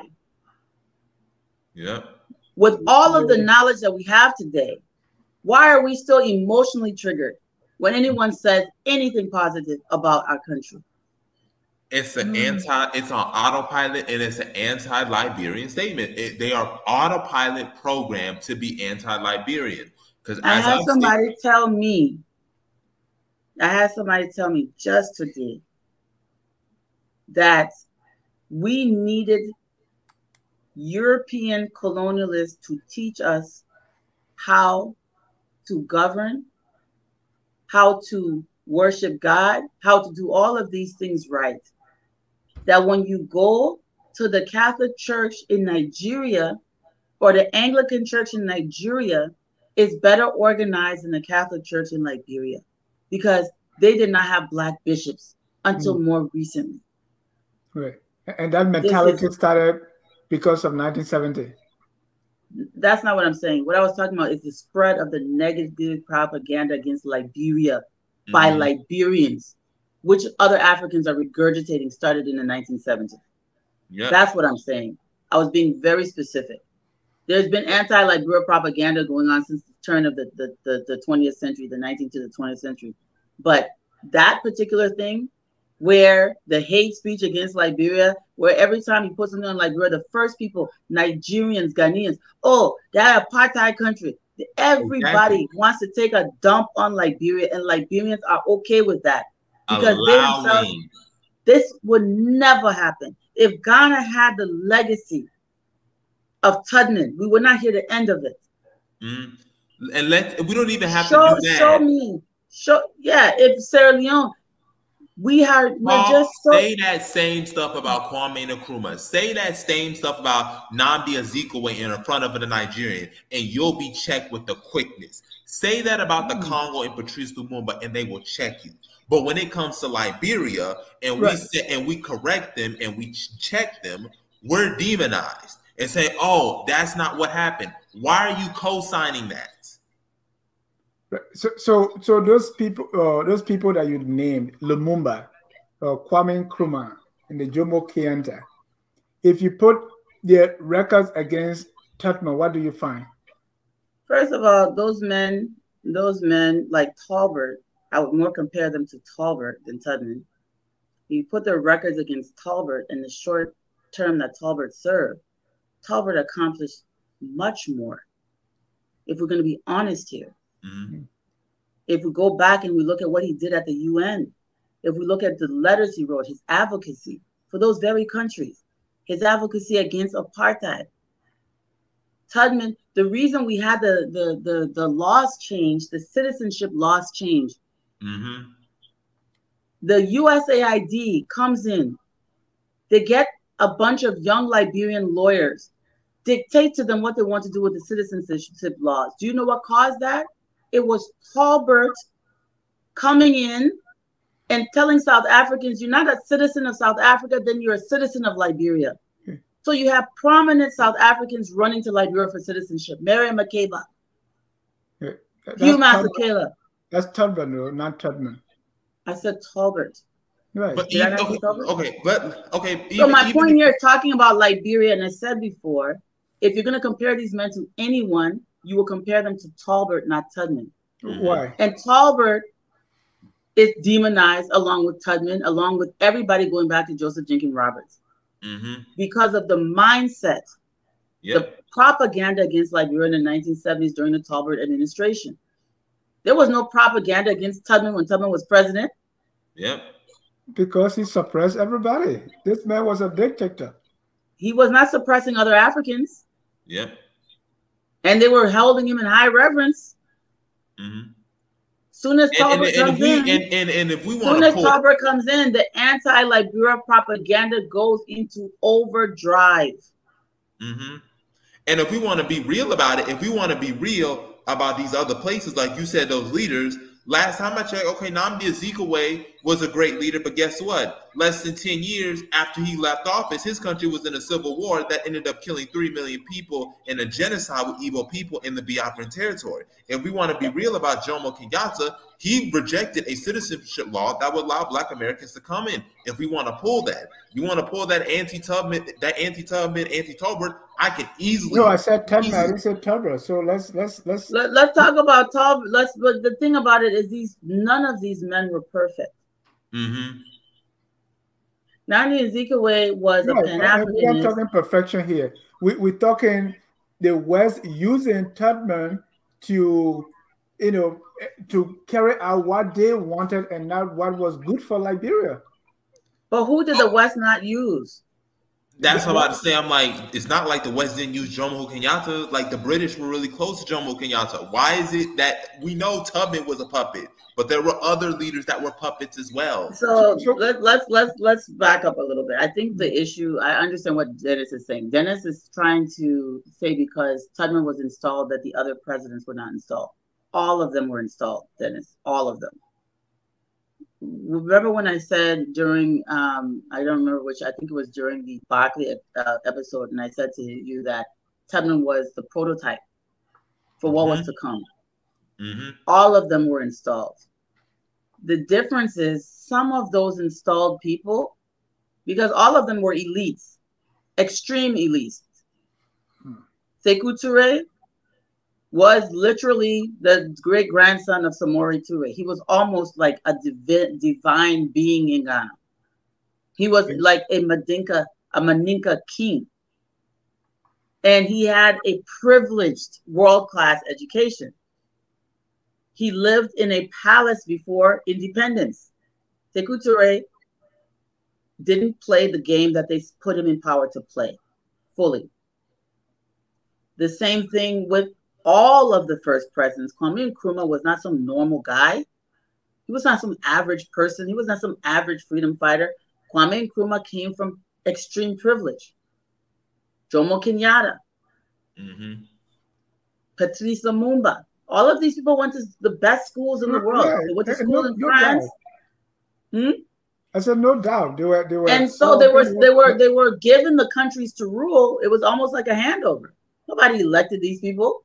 I'm about to say because Kwame Nkrumah himself was the prime minister of the Gold Coast before Ghana even got its independence. He was a puppet. The difference was he was also privileged to be one of these people who became a Pan Africanist and thought. Who, who had But, vision but, for but the they country, not installed. like Tubman. I mean, they had this vision, right? And Tubman was just willing to play along. So I mean, but Tubman had his own vision. I not think I think out. Tubman did more to, to build educational institutions across Liberia than any of the people you just mentioned did in their own countries. During Tubman's era, the literacy rate in Liberia was way Mm-hmm. higher than most of those places that you've mentioned. this, this and so this is why I focused on his human capital development. Because Tubman made sure you've got Muhlenberg mission. Most of those big schools that were built in Lofa, in Nimba, in Bong, in Cape Mount. At that time, Bopru and Cape Mount were, I mean, in Lofa were the same place. In the in in in in in, in Sinoe, at Greenville, in Harper, most of these schools were well funded. If you look at the budgets for those schools in the 1940s and 50s and hmm. 60s and compare it to the, Compare to the to- national budget, percentage wise, Right. There's no comparison If to what anyone has done since then. If we compare that to what Kwame Nkrumah was doing in Ghana, Tubman did more. Kwame Nkrumah did not have that kind of national education. If you go to northern Ghana, there, where did he build schools? In his ethnic areas, right? He was a Pan Africanist, but he was also where did he build schools in Ghana? I So we like to deify and justify everything and excuse other people for not being perfect, but we have to demonize ourselves. No, it, it's not. It's, it's history. They they tried It's to kill. Kwame Nkrumah. They took his statue and dragged it through the streets of Ghana Yeah. because he was a tribalist in a sense. They felt he was a tribalist. Nkrumah's statue was dragged through the streets of Ghana. Sekou Toure had to literally protect his life. Right. And bury him in Ghana. It was it took until when for them to return his body to Ghana. Right. You know what I'm saying? We can use that as a measure. With all it- of that, Mm. Ghanaians still do not go around the world exaggerating his flaws. In fact, they're telling the world that Kwame Nkrumah invented Pan Africanism, and he clearly did not. They have gone as far as to call Liberia, I mean, Ghana, the place of return. Ghana is now usurping the history of Liberia because Liberians hate themselves. Mm-hmm. Yeah. I, I, I, anyway, but I, don't- I don't true. believe that that because Liberians hate themselves. Liberians do hate them. They hate their country. But, but let's, I- Liberians hate their country, generally I mean, we speaking. can move. when can you move say on. a nice thing about Liberia, can't see all of them to can't cuss you for Yeah. saying good thing about Ni- Liberia. I, I, I that would would not def- happen I anywhere would else. definitely say to a certain degree it does have to do with hate. We Right. hating I, mean- ourselves. I mean, I mean, look. because look if we did, because if we did, Liberia would be at the center, not Ghana. You would have Liberians Right. making videos. Liberians hate their country, they hate themselves, they hate each other. Any little excuse a Liberian person, they even invent things to have reasons to hate themselves. We get ready, oh, we from the southeast. What is that? Is that even a thing? Where is the northeast? Where is the the the the the the the, the southwest of Liberia? Where's the southwest region? They just make up reasons to deep to, to, to divide themselves. Right, but it is not out of the blue, and you have. It's like, anyway. Let, let's move forward because we When do we evolve? When do we evolve? The country. I mean, look at the country. Where, where When do we evolve? Who's gonna fix the country? That Right. tribalism will fix the country. Right, where, where are we? What's the res- what's responsible for the high level of The responsible, the what's responsible for but Liberia being the way it is is the citizens. themselves. They're citizens, and the citizens always sitting there, looking elsewhere to respect instead of inward. We don't respect anything. We have xenophilia. We love everything outside of Liberia. In general sense, I mean, I'm not being absolute here, but it's a fact. Even though we have had all of these shows, Hmm. I have spent over a year presenting all this evidence, and still you've got people saying one group of people ran the country for a certain amount of time. Thank you. If, if, Yeah. if Because they, they are we wouldn't be stuck. Because they are stuck in the brainwashed mindset that they will want to carry to the grave. My only hope is we don't pass this hatred to the next generation. Yeah, that's That's my only hope. Yeah, that's strong. Like this hatred. But but let's It is hatred. let, let's Let's- let's let's let's move forward as we are, so we can bring in a few colors here. I have colors on the line already, but let's finish the presentation first. So this is I just think a these picture. are pictures uh, now. Yeah, Tub Yeah, so these are just general Pan African pictures. Of course, you got him there with Haile Selassie. Tubman there. Acting like Pan Africanism, Pan Africanist. but let, let's uh and I mean, we- he, he was, he was, he was in fact, he was in fact, um, he was a he was a nationalist, as most of the people that attended the Monrovia conference were. Every single one of them insisted that they did not want to merge. right because they So was to not the only one. They wanted to keep the boundaries. They wanted to keep the broken glass pieces and continue with that. Now, my thing is, it is important for us to look at everything critically, but the extreme demonization of people who did far better with far less than what we have today. And there is not a president in my, well, there's not a president within the last few presidents that has done a fraction of what Tubman accomplished, a fraction of what Tubman did, even with all of the, the, the flaws and all. So we can sit here and say what we want. And even Tolbert fell short of some of the things that Tubman did because Tubman had understood, maybe because he was a dictator, how to keep the country from unraveling. He knew how to walk the line and play his cards to keep us from tumbling into chaos. Mhm. And Tolbert failed because Tolbert trusted situations he shouldn't have trusted, but that's a different discussion. But it's because of Tolbert during Tubman's administration, there was no war in Liberia. You there was no uh, uh, uh, tribal warfare for the first time in the history of the country. It was that 27 years of actual peace, even in the hinterland. You didn't have people chopping each other's heads off, having clan wars during his administration. Hmm. As It never happened while he was president. As they say, the absence of war is not peace. But let's let, let me announce. uh, That's what you're gonna say in that situation. The Yeah. absence of war is not peace. because The- the, where, the where, where did you see clans people shopping each other up in the hinterland during It happened. It happened as soon as Tolbert died. It wasn't long, and they started back with their tribalism and started killing each other. That's how we're all where we are. We we love we just love the projection. Like it- it's not, It, it's just crazy. Like all of us have lost relatives to tribal warfare. You want to blame Tubman for that? You want to blame who for that? No, no, we- we're not blaming Tubman for uh, tribalism, right?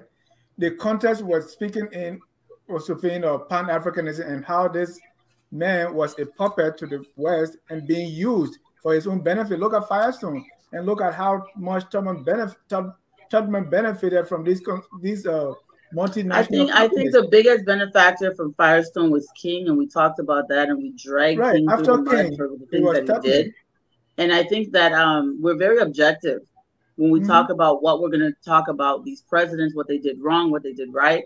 yeah. Um, same thing when we talked about uh, um, Gardner, when we talk about all of them. But where we're not going, where I'm not going to go down this rabbit hole is when somebody wants to exaggerate and demonize the country, and then we want to justify it because we say because Tubman was installed. Which African country doesn't have installed dictators? yep. I don't think that should be an excuse.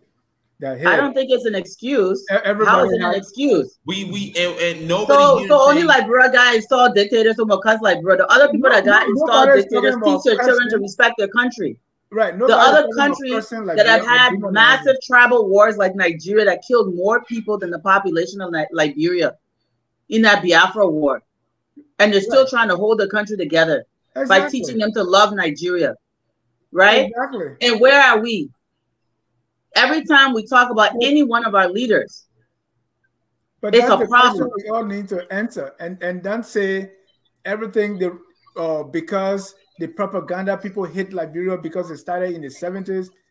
I said specifically the other African countries learned from our progressives to hate Liberia. Okay. And it was in the 70s. And I have evidence. I have people who have said the anecdotal experiences I've read upon articles upon articles that were pumped into West African journals by our people, much of which was lies. How we had a, a mulatto hegemony uh, indigenous people were never taught how to read and write. They were not allowed to go to school. We had apartheid. That's all 1970s propaganda by Baccus Matthews them. It's not they say their writings are in ink, they are permanent and forever, and they will live forever. So you can tell me that I'm wrong, but it is documented. They wrote things down and they published them in newspapers all over Africa, lying on and, Liberia and even and even then let, let's say Janice lying on Liberia and those lies that they told on this country, the you guys are living with those lies today. We're trying to undo some of those lies today. And the lies that they told, trust me, they knew they were lying. Mm-hmm. I used to think they didn't know. But you can't go and write. You are an educated indigenous person. You go and write that you are not allowed to go to school. Your people are not allowed to go to school. Is that true? Did we ever say that this school is for only American Liberians and this school is for only native children? It never happened in Liberia. And it's not straightforward like that. But but let's let us not. But uh, what I'm saying is, when I say in the 1970s they spread propaganda against Liberia all over Africa, for that reason, Africans do not respect Liberia. I'm backing it up with facts. It's not something I pulled and, out of my nose. Yep, and, and, and to go further, let's say, and, and I want to address your point before we get into the calls. Um, right. Even if we use the point that you said, okay, well, Tubman was Western installed, so he inhibited Pan Africanism to a, degree.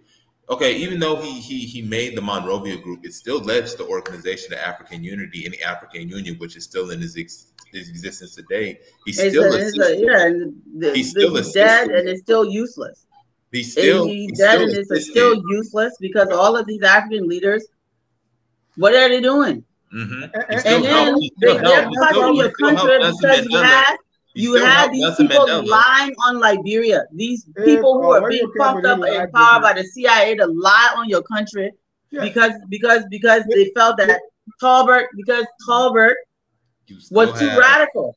You so they were running have. around pumping propaganda just like Mariah and them did in the in the in the early 1900s. It's a repeat. You and it's going to continue. You still right. had Tubman. Let, who let's was... let's let's take some calls, ladies and gentlemen. This is the Liberian History Channel. We are discussing part three. Hey, you said the show is gonna be boring, Jabari. oh. I, I, I, wasn't expecting me to get to this level, but I, am yeah. here. Let's, let's let's get our first caller, uh, Ambassador Patton, George. Yes, Dennis. Thank you. Thank you. Um, Go ahead, sir. But I hear your panelist is, is still speaking. No, no, no, no, no. Turn, off, just turn that off. Say, we're silent. And listen through the uh, phone, please. Oh yeah, yeah. That's probably he's probably getting feedback. Okay, Dennis. Uh, looks like I will see what I can do that. But thank you, and I want to commend you for this program, and to also commend your panelists for uh, this important discussion on Pan Africanism and the role of Liberia. What is true across Africa, in my discovery, is that Liberia, and in fact, Tubman indeed, played a pivotal role in in the uh, the challenges Africa faced from the very onset of uh, the formation of the OAU which was responsible for uh, the continent not uh, forming the United States of Africa. Liberia is blamed, Tubman is blamed, And the reason why they blame Liberia is simple. And let me tell you this story, Dennis. I served as, as Liberia's ambassador to Ethiopia from 2016 to 2018. That was my second tour of duty in Ethiopia, having served there before as the minister counselor. Are we there, Dennis? Yes, sir. Hmm? When I got to Addis Ababa in 2016, I realized that the AU had put up a statue of Kwame Nkrumah. There was a building named after Julius Nyerere. Yeah. And in fact, in the AU hall, the, the main complex, there were photographs of African heads of state. And to my surprise, Liberia was not featured among those African leaders. So I got to work. I wanted to make sure that my country had a presence in, in, in the hall.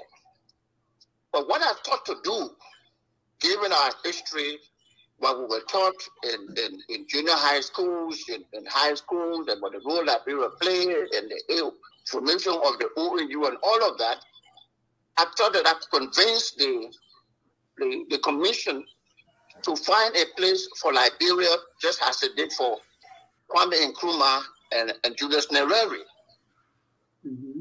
I went to the commission. I did the consultations with members of the commission, leadership of the commission, and with few ambassadors from Africa on what I wanted to do. I then informed the then Minister of Foreign Affairs, I won't call the name, discussed what I wanted to do, that I wanted to find a place for Liberia in the African Union Commission. I wanted Liberia to be recognized. They advised me to do a concept paper. I did all of that. And so as I went further, I went deeper into consultations. I was advised by the commission that it would be a wrong approach to request for a place for Liberia in the commission because, after all, across the continent and within the commission itself, when the people talk about the formation of the OAU and Africanism, they don't mention Liberia. They don't talk about Liberia. They don't talk about Tubman. The names you hear Kwame Nkrumah, Sekou Touré, Julius Nyerere, the guy from, from Algeria. You don't hear anything about Liberia. Go there today. That's what that's what you'll find out. And I was concerned. I began to ask questions. Why was it so that in, in, in, in African celebration, when we're talking about the OAU, the formation of the OAU, people didn't have time. They wouldn't even mention Liberia.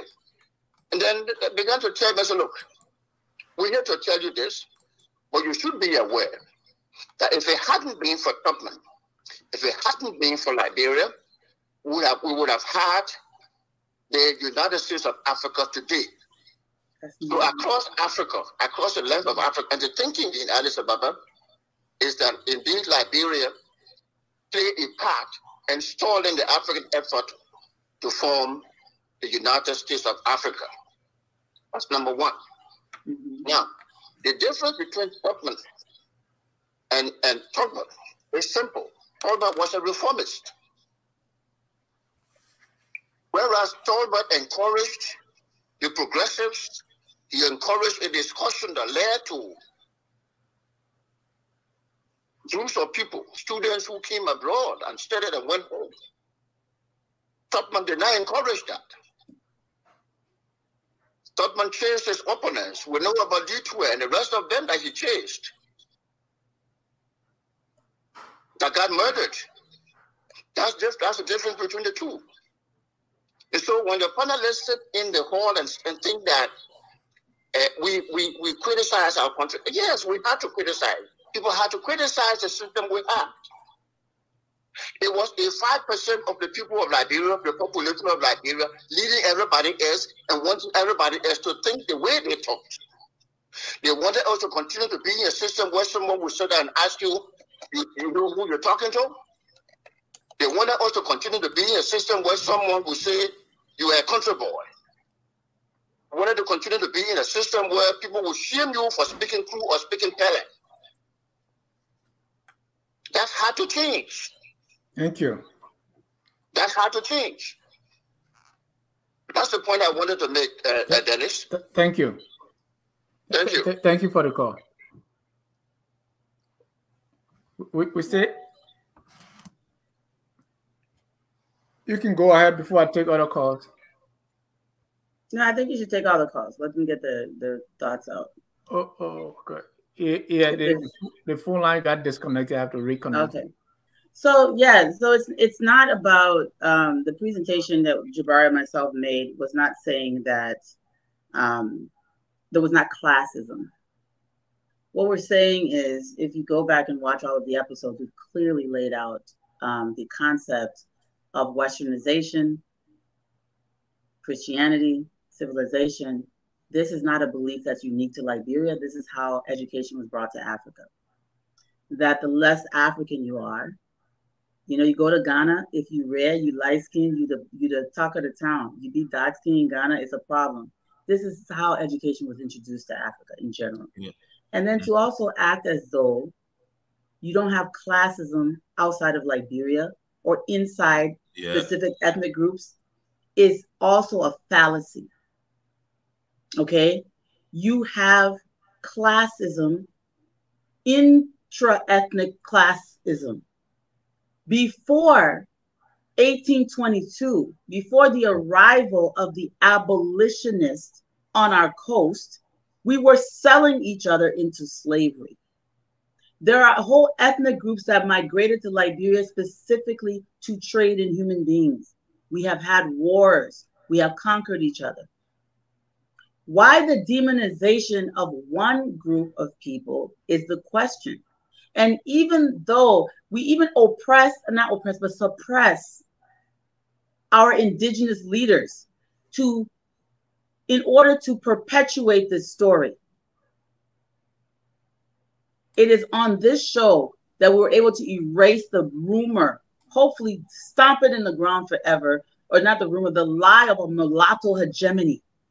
It is on this show that most people learn that J.J. Dossen was native, that mm-hmm. Daniel Howard was native. It is on this show that many people for the first time heard of James 2 Wesley. Not everyone, some people knew all these things, but most people do not because it was in the interest of a narrative to pretend that this never happened. Mm-hmm. You go to Nigeria today, and I have very good friends in Nigeria. Servants in Nigeria have to bow and literally walk out of your your presence backward. Mm-hmm. In Ghana, the classism is so pronounced. I don't know how many Liberians have really traveled outside of Liberia within Africa to mm-hmm. see. Before you get to Ghana. we don't have that in Liberia. Hmm. Before you get to Ghana, before you get to Ghana, there's a literal caste system in Nigeria in Igbo called the Osu people. They're literally a caste at the bottom that are the untouchables. This is not to justify. Right, and, and, and let me, let me finish my point, Dennis. Right. This is not to justify. I just want to to interject because every let time me, we go to this, no, let me let me this. finish my point. Then you'll know where I'm landing with all of it. Please, then you can come in. This is not to justify classism. Mm-hmm. It's to tell Liberians that classism is not something that was introduced to us or is unique. Because what we do is we complain about situations that have been really exaggerated. Mm-hmm. I had a conversation with a good friend of mine. I'm not going to name him. I hope he's watching. And he's probably going to get pissed off that I say this. But he told me one time, he said, Oh, you know, we had tiers of, you know, of, of, of, of American Liberians. And I said, There's no such thing as an American Liberian. I said, That's an anthropological term that was imposed. He said, Oh, whatever. He said, You know, the people who were purely of African American descent, they were the top and then the Caribbean people, and then the ones who were mixed with native and blah blah, and then the, the people who we adopted were done. And I said, Does that make sense to you? I said, What you're saying, does it make sense to you? I said, What you're doing is you're you're you're saying that that your proximity to Western to, to Western culture makes you better than someone else. And the closer you are to Western culture, the better you are. I see you don't see the problem with that. How can you be black and be a white supremacist? Mm-hmm. And he paused and he froze. And I said, all of these ideas that I hear, these are 20th century ideas. Mm-hmm. Why did this thought process evolve? When did Liberians start to do this and be anti African? Nobody who's anti African goes to Africa. It is part of it was built into our education systems. Mm-hmm. And all of us went to the same schools. Mm-hmm. We all went to the same schools with the same Catholic nuns, with the same Southern hillbilly missionaries who were telling us that everything that's African is evil, and the further away you are from an African, the better you are. It was not just one group being taught this, every ethnic group in Liberia was taught the same thing. Mm-hmm. Nobody is telling us to name our children names that are not African today. But if you go into any village in Liberia, the same education system is being perpetuated. We don't have some ruling class but what's happening? We are naming our children. Oh, his name is is is. Uh, uh, they just make up foolishness because your indigenous names are ugly. It's part of the education process. Mm-hmm. Right. And we don't have to decompartmentalize African people for adopting the way they were to the way they were educated. Mm-hmm. Right. We, we can talk more about this. I, I don't want the uh, I don't want us to go beyond two two hours. But mm-hmm. what I find is we, Anyway, let me take the last call and then we can okay. the because if we don't like by the time and this is is still appears like justification. If things went because wrong, that's how you want to see it, an yeah, explanation. Wrong, let, let, me, explanation. Let me, let me, finish. Let me finish, Carl. Go ahead. If sorry. things went wrong, let's acknowledge them. But by the time you say, and you have just said it, right? This is thing. Okay, this existed. Oh, tell me. Uh, by the time you talk about it, oh, tell me you were doing it before we came. Oh, you saw this one. You that does not justify any other wrong actions. We can still. So why doesn't anyone talk Dennis, about the other wrong actions? Dennis, Let me finish. What is the reason that we don't talk about all of our wrong actions? Right. Uh, yeah, I'm about to say. I was about to say, Dennis, Dennis, can I, Dennis. Can I finish? Yeah, Let sure. him finish. Right. We can still acknowledge all the wrong actions. Ten persons can be wrong at the same time. But by why time, don't you acknowledge the other wrong actions? But That's projection, Dennis. What you're doing is projecting. Wrong, you say, "Oh, why? But there are other 10 ones. When we're talking about yeah. wrongs, why don't we talk about all the wrongs? Why is it always one wrong that is discussed? What, what about all the other wrongs? Dennis, what, what you are doing. But they are Can I say wrong, this? A portion Dennis, of all what are you doing? But by the time you make it wrong, at least acknowledge that yes, this happened, but X, Y, Z. But the answer but who has like, not acknowledged it? No, That's all y'all talk about all the time. Dismissive. Dennis. Because listen. you cannot you cannot dismiss other people's experiences. Dennis. Because Dennis. Hold Dennis, on, Jabari. Hold on. Dennis. Anyway, let me take the Anecdotes. last call and then we can we, we can uh, do something. Anecdotes are not hold, what hold you on, Jabari. Let me take the last call. I don't we, we, we didn't plan to stay over two hours. Go ahead, uh, Elvis. Thank you. Thank you, Mr. Jah, and uh, thank you to the panel the presenters tonight. Uh, I just want to say this, you know, I'm a bit disheartened tonight because we on this platform we have a lot of respect from you know Mrs. You know Famulette, and she brings great great value to the platform. And I, uh, I want to thank you, Mr. Jah, for pushing back a little bit tonight because, with all due respect to you know Mrs. Famulette, I've heard her say this on one of the shows on Talk, Talk uh, Talking Thursday, maybe a year and a half ago. I have a good memory of it. It was an exchange between she and uh, Mohammed Sharif. And Sharif was talking about Tubman at the time, praising him, how like was, you know, developing on a Tubman. And I think Mrs. Mrs. Famulette pushed back on him, saying that Tubman was a dictator and he was a puppet of the West.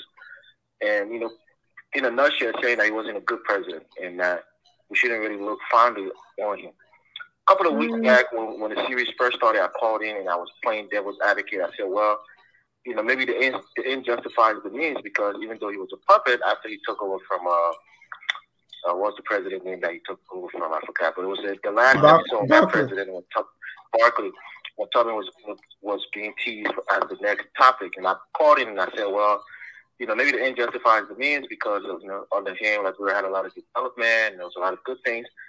And Ms. Cole went up, she went up for me saying that, oh, I mean, I'm preaching white supremacy.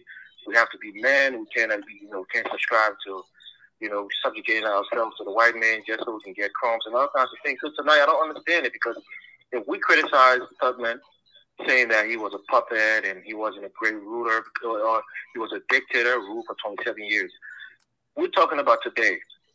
If George Weah leaves the presidency, well, should we pin rosy pictures about him or other things that he did, or incompetence that he showed? Should we pin ro- rosy pictures about him? Would it be not, you know, uh, uh, patriotic to not, to criticize George Weah because in many people's eyes he, may not be a great president? And even, you know, I'm a bit disappointed because perhaps maybe it's for personal reasons, and I can understand that, that we won't talk about, you know, Tolbert, Doe, and Charles Taylor because these people are people who a lot of people have strong personal reactions to. For Tolbert, maybe a lot of people say he was a progressive president, he was the best president.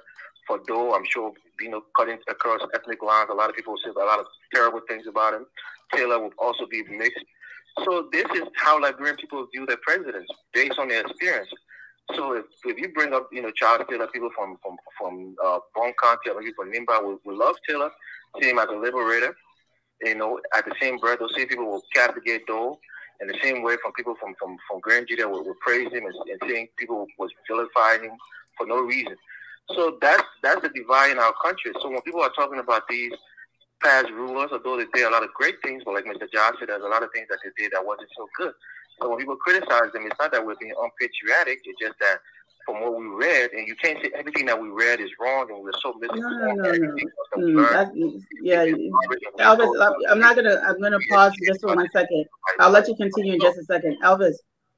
Um, you're all over the place, so I'm trying to keep track of what you're saying so I can respond. Um, the last thing you said, the last thing you said is a little strange. I was following you until you started talking about um, when I said, you know, when people praise or criticize people, I've criticized probably every single president that I presented on, mm-hmm. except Arthur Barclay. Um, I didn't find any reason to criticize Barclay. Um, I mean, I, I, criticized pretty much every single president, um, and also talked about the, the good side. So, to, to, to the, you know, I'm I'm I'm not simple minded, right? I'm not a simplistic thinker. And when you're talking in a specific context, Elvis, which is Pan Africanism and this president's contribution to building the OAU, which he built, he built the Af- Organization of African Unity. He built the African Development Bank. He built this. It was Tubman who built this. Whether it's a One United Africa or not, that's what we have, and Tubman built it. So the people who are carrying his torch can't ignore him. That is a separate conversation and a separate thing from the fact that he wrongfully imprisoned Fahnbulleh, that he built Belle Yella and sent his political people there. So two things can be true at the same time. Mm-hmm. That's all I'm saying. So you shouldn't be confused because we're not talking about Belle Yella today. We're not talking about the fact that Tubman um, killed Coleman in cold blood like we did last week. Mm-hmm. Today, we're talking about the Organization of African Unity, which is now the African Union which is owes everything to Tubman. And so this is the difference. And, and and and one of the problems that we have as like as, as human beings, it's not a Liberian thing, is that we like to oversimplify stuff. Yes. If somebody stepped on my foot yesterday and tomorrow that person does something incredible, we will not see it. We will only talk about my foot being stepped on. Mm-hmm. Thank you. Can I let me just let me just? No, I didn't want him to stop. I want Elvis to continue. I just want yeah, to point Elvis, out that part of it. We, we have yes, we have five minutes to, to end. Yes, I will leave it on the Pan Africanism because even within that group of people, a lot of people don't don't like Tubman because they saw him, you know, like even name one person that was at the Monrovia conference that didn't like Tubman. One that didn't that didn't in the presentation tonight, I think what you're talking about, you're praising uh, Kwame Nkrumah idea of maybe having like four or five different regions that would become countries, and that would have been better for Africa as a whole. but he also, most, you know, he wanted the countries to keep their sovereignty and not to give up their sovereignty. And that's why most people think the African Union is weak today because you have sovereign nations who are not allowed to intervene when, when certain things are going on in certain regions. So a lot of people criticize Tubman for going that route rather than bringing most of these countries together in the region. Yeah, maybe I didn't do a good job of explaining that though. That that's not exactly true. I'll leave it there. Because Kwame Nkrumah signed off on the Monrovia Conference. He was a signatory to that. Yeah. I just want to say this. I want to say but this. Kwame, Kwame Nkrumah was a signatory idea, right? to it. Hmm? Yeah, they, they all have to sign off because everything went. They don't have to. You don't go to every convention and sign off just because you're present. Right. If you object, you don't sign off to it. Because they have these two groups, right? And mm-hmm. Tud, uh, Nkrumah and the rest of the people are saying, "Hey, USA," and Tubman, the rest of the people say OAU, and it went Tubman's way. For no, you got you guys are getting uh, a little wrong. It's a little bit. I see where the disconnect is. You have to. Go ahead, Jabari because I've, I've been trying to say one of the issues Sorry. is, and one of the problems is, whenever we're talking about history, is this it is a problem across the board. It's projection. You people love to project their ideology. Right. I don't like for, for people to go this route, Jabari. You can say that without entering the minds of the people and say, hey, it's because you are projecting. Dennis, right? here's Dennis. Here's Let, a simple. Let's just stick Dennis, to the facts of history. Here's a simple reality. For example, people can say, for example, oh, Tubman was responsible for why we didn't have the United States of Africa. Let's use their claim. Okay. Why aren't you saying that same thing about Madagascar? They were there. Why are you not saying that same thing about Nigeria? They or were Ghana. there. Or, or yeah, or Ghana or Tanzania. Why are you just pointing out Liberia? Or Kenya. It's the same thing when we talk about when you said, oh, the uh, African Americans did this to the native population. Okay, I'll give you that. Okay. At the same time, we rarely hear, if ever, about okay, this is what they were doing the day Gola War or the Gola Mandingo War. What we like to why do. you say you don't hear that? There, the thing is, you're supposed to view history as it is, and history right. is a very complex thing. So to just say reduce it to African Americans or a country Congo, as people say, and completely forget the Gola Mandingo Wars is to yeah. I mean, it's true. My it's my thing, yeah, my thing to bring it back forget. to the Tubman discussion. To bring it back to the Tubman discussion, right. I, I, don't think people forget. Is is this either or mentality, right? Because when people say one, then you say, "How about this?" When other people say this, you say, "How about this?" So why? Do because we, you have to look at everything in the totality. The There's nothing wrong with that. Talk about it, right? Let's yes. just lay everything out on the table. This is what. But when we do that, we say, "Oh, you why are you bringing up other stuff?" No, right. but because by the time you can't have it both ways, Dennis. When no. somebody is saying, "Here's the broader picture and here's mm-hmm. the broader context," then you get offended. Because you don't not... want the hold on, Jabari, because you don't want the broader picture. You only want to repeat this one narrative. That's when you say true. this is the context That's of the narrative, it becomes true. why you got to be bringing what about listen this is what i wanted to say about tubman hmm. we're specifically speaking of the oau right there were two competing ideologies and tubman won the casablanca conference as i said in the very beginning because people always hear what they want to hear mm-hmm. the casablanca conference was being head by, headed by morocco At the end of the day, the other African states looked at it and said, you know what? If we come under one, I mean, there's documentation of their ideas and objections. They didn't want to, is the same thing that the reason they had an issue with, with Gaddafi. They were like, wait a minute, these Arabs have been treating us the same way Europeans have treated us. There was a racial component. I thought I talked about that when I started my presentation. So for Africans to ignore this, I think it's problematic.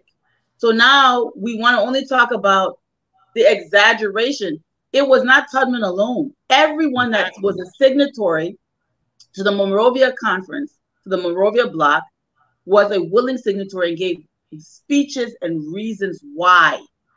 Mm-hmm. And we know why mm-hmm. they were saying it, right? That's what we just said on this show. We know why they were saying it. The French were controlling these other guys. Their former colonial powers were controlling them. And we say that's why they were doing what they were doing. Right. Also, that was not the only reason. Multiple things can be true at the same time. So that is one reason. Mm-hmm. What was the other reason we discussed? The other reason we discussed is that greed. Yes, they, they wanted, wanted sovereignty over their own people. They wanted dominion over their own people without interference. Was another component, another factor. A mm-hmm. third factor was they wanted power for themselves. That was the second factor. It's the same thing: dominion over their people. Right, the third factor was ethnic. That, that looked like nationalism, right? But it was no, it's not dominion over your people and wanting to because what is nationalism? It's a fake boundary. It's broken glass. Mm-hmm. Nationalism. The other thing is they had issues with people. They had a little bit of xenophobia. You had mm-hmm. certain groups looking at other people saying people are too different from us. We don't want to be bothered with them. Because guess what? There is a form, there is a nationalism. It's called African nationalism. You can have nationalism of being African. You don't have to have Tanzania. I'm an I'm an African nationalist. You don't have to be a Nigerian. Pan Africanism is African nationalism, but the, the bottom line here is there were multiple factors. Always remember that two or more things can be true at the same time. Mm-hmm. There were multiple factors. But in closing, Dennis, I know you got to go. I got to go. Yeah. In closing, there would be no OAU as or African Union as we see it today if there's one person that is responsible for the existence of African Union, ECOWAS, all of these things that spun out of it, it is William V.S. Tubman. So for him not to be honored in Ethiopia in that way, it's at Addis Ababa, is an affront to history and facts. Yeah, it's contradictory. So you blame Tubman for making the OAU, but you're benefiting from the OAU African. You you're in the OAU. You say Tubman created it. You Vexy created it. So you're not going to honor him. You're going to give credit for the OAU to someone who wasn't leading. It doesn't make any sense. Right.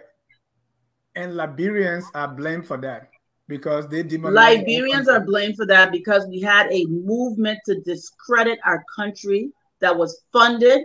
I will send you U.S. State Department papers that were funded by U.S. tax dollars, where you had these half-cocked Liberians running around writing lies about their country all over the place, and it's documented. So unless somebody went back in time and changed documents, just to make call right on this show, that's what it is. And there's nobody can come here and show me anything to the contrary. Mm-hmm. That's what they did. Talking about it, we're not allowed to go to school. The land was taken from them. Where? Who owns the land in Jiddikin? I'll tell you who owns the land in Gaklan. The Gaklan people own it. All right. Who owns the land in, in Gedeh, in Grand Gedeh?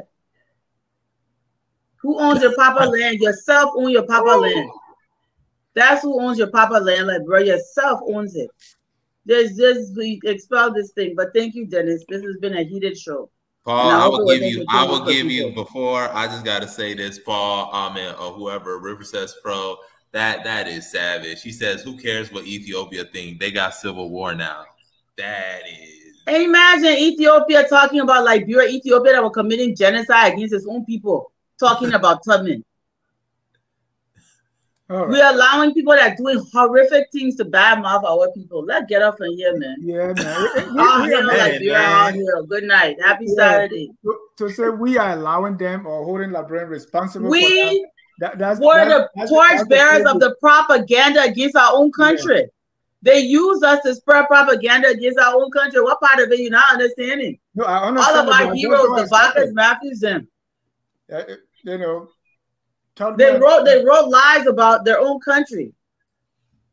Uh, you know what? We should do an episode. Right. In fact, said Dennis at the next episode. Sorry, I know it's closing.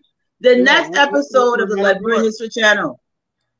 Yeah, I am going to show U.S. State Department papers, mm-hmm. and I'm going to show historic documents written by people, and I'm going to debunk the lies that they spread about Liberia in the 1970s, and that's and show who's behind it. To say, and, come, come and week. don't come to my house. My husband packing heat, and so am I. this is a legal carry state. Don't come to my house while we expose everything. On that note, we'll say thank you, Carl. Thank you, Jabari, for this show tonight. Next week, we're going to continue and we'll talk about the 70s. And uh, Carl's going to bring the papers that said, you know, all the propaganda. and we're going to juxtapose that with what happened before that time to see whether there was no propaganda and people were all, you know, but that will be part of the show. And when you come, read on these things and come prepared. We'll, come we'll prepared get, to debate. I'll be prepared. Y'all right, come. Y'all come. Y'all better come because we're gonna be ready for you. Right. On that note, thank you, Dennis. Thank you, Jabari. Thank you so much. We want to thank our viewers for always joining us. You know, uh, somebody says someone is Saturday, so people will not come. We are writing a history book. Whether we appreciate you to come, but even if we have two persons, we're gonna we're gonna continue to build this library. Yeah, and uh, it's gonna live after us. So some of these things will be clarified so that our country will be better than the way we met it, because our children and the children's children will be armed with more information about our country that we yes. will be able to do something and move it forward. That's why we end with the song that says, "We are all Liberians." Whether you you are Basanyo or you are Ma, Dan, Gola, or Mandingo. We are all Liberians. Let us do our very best to keep and make our country the glorious land of liberty. We are Liberians. Liberians is our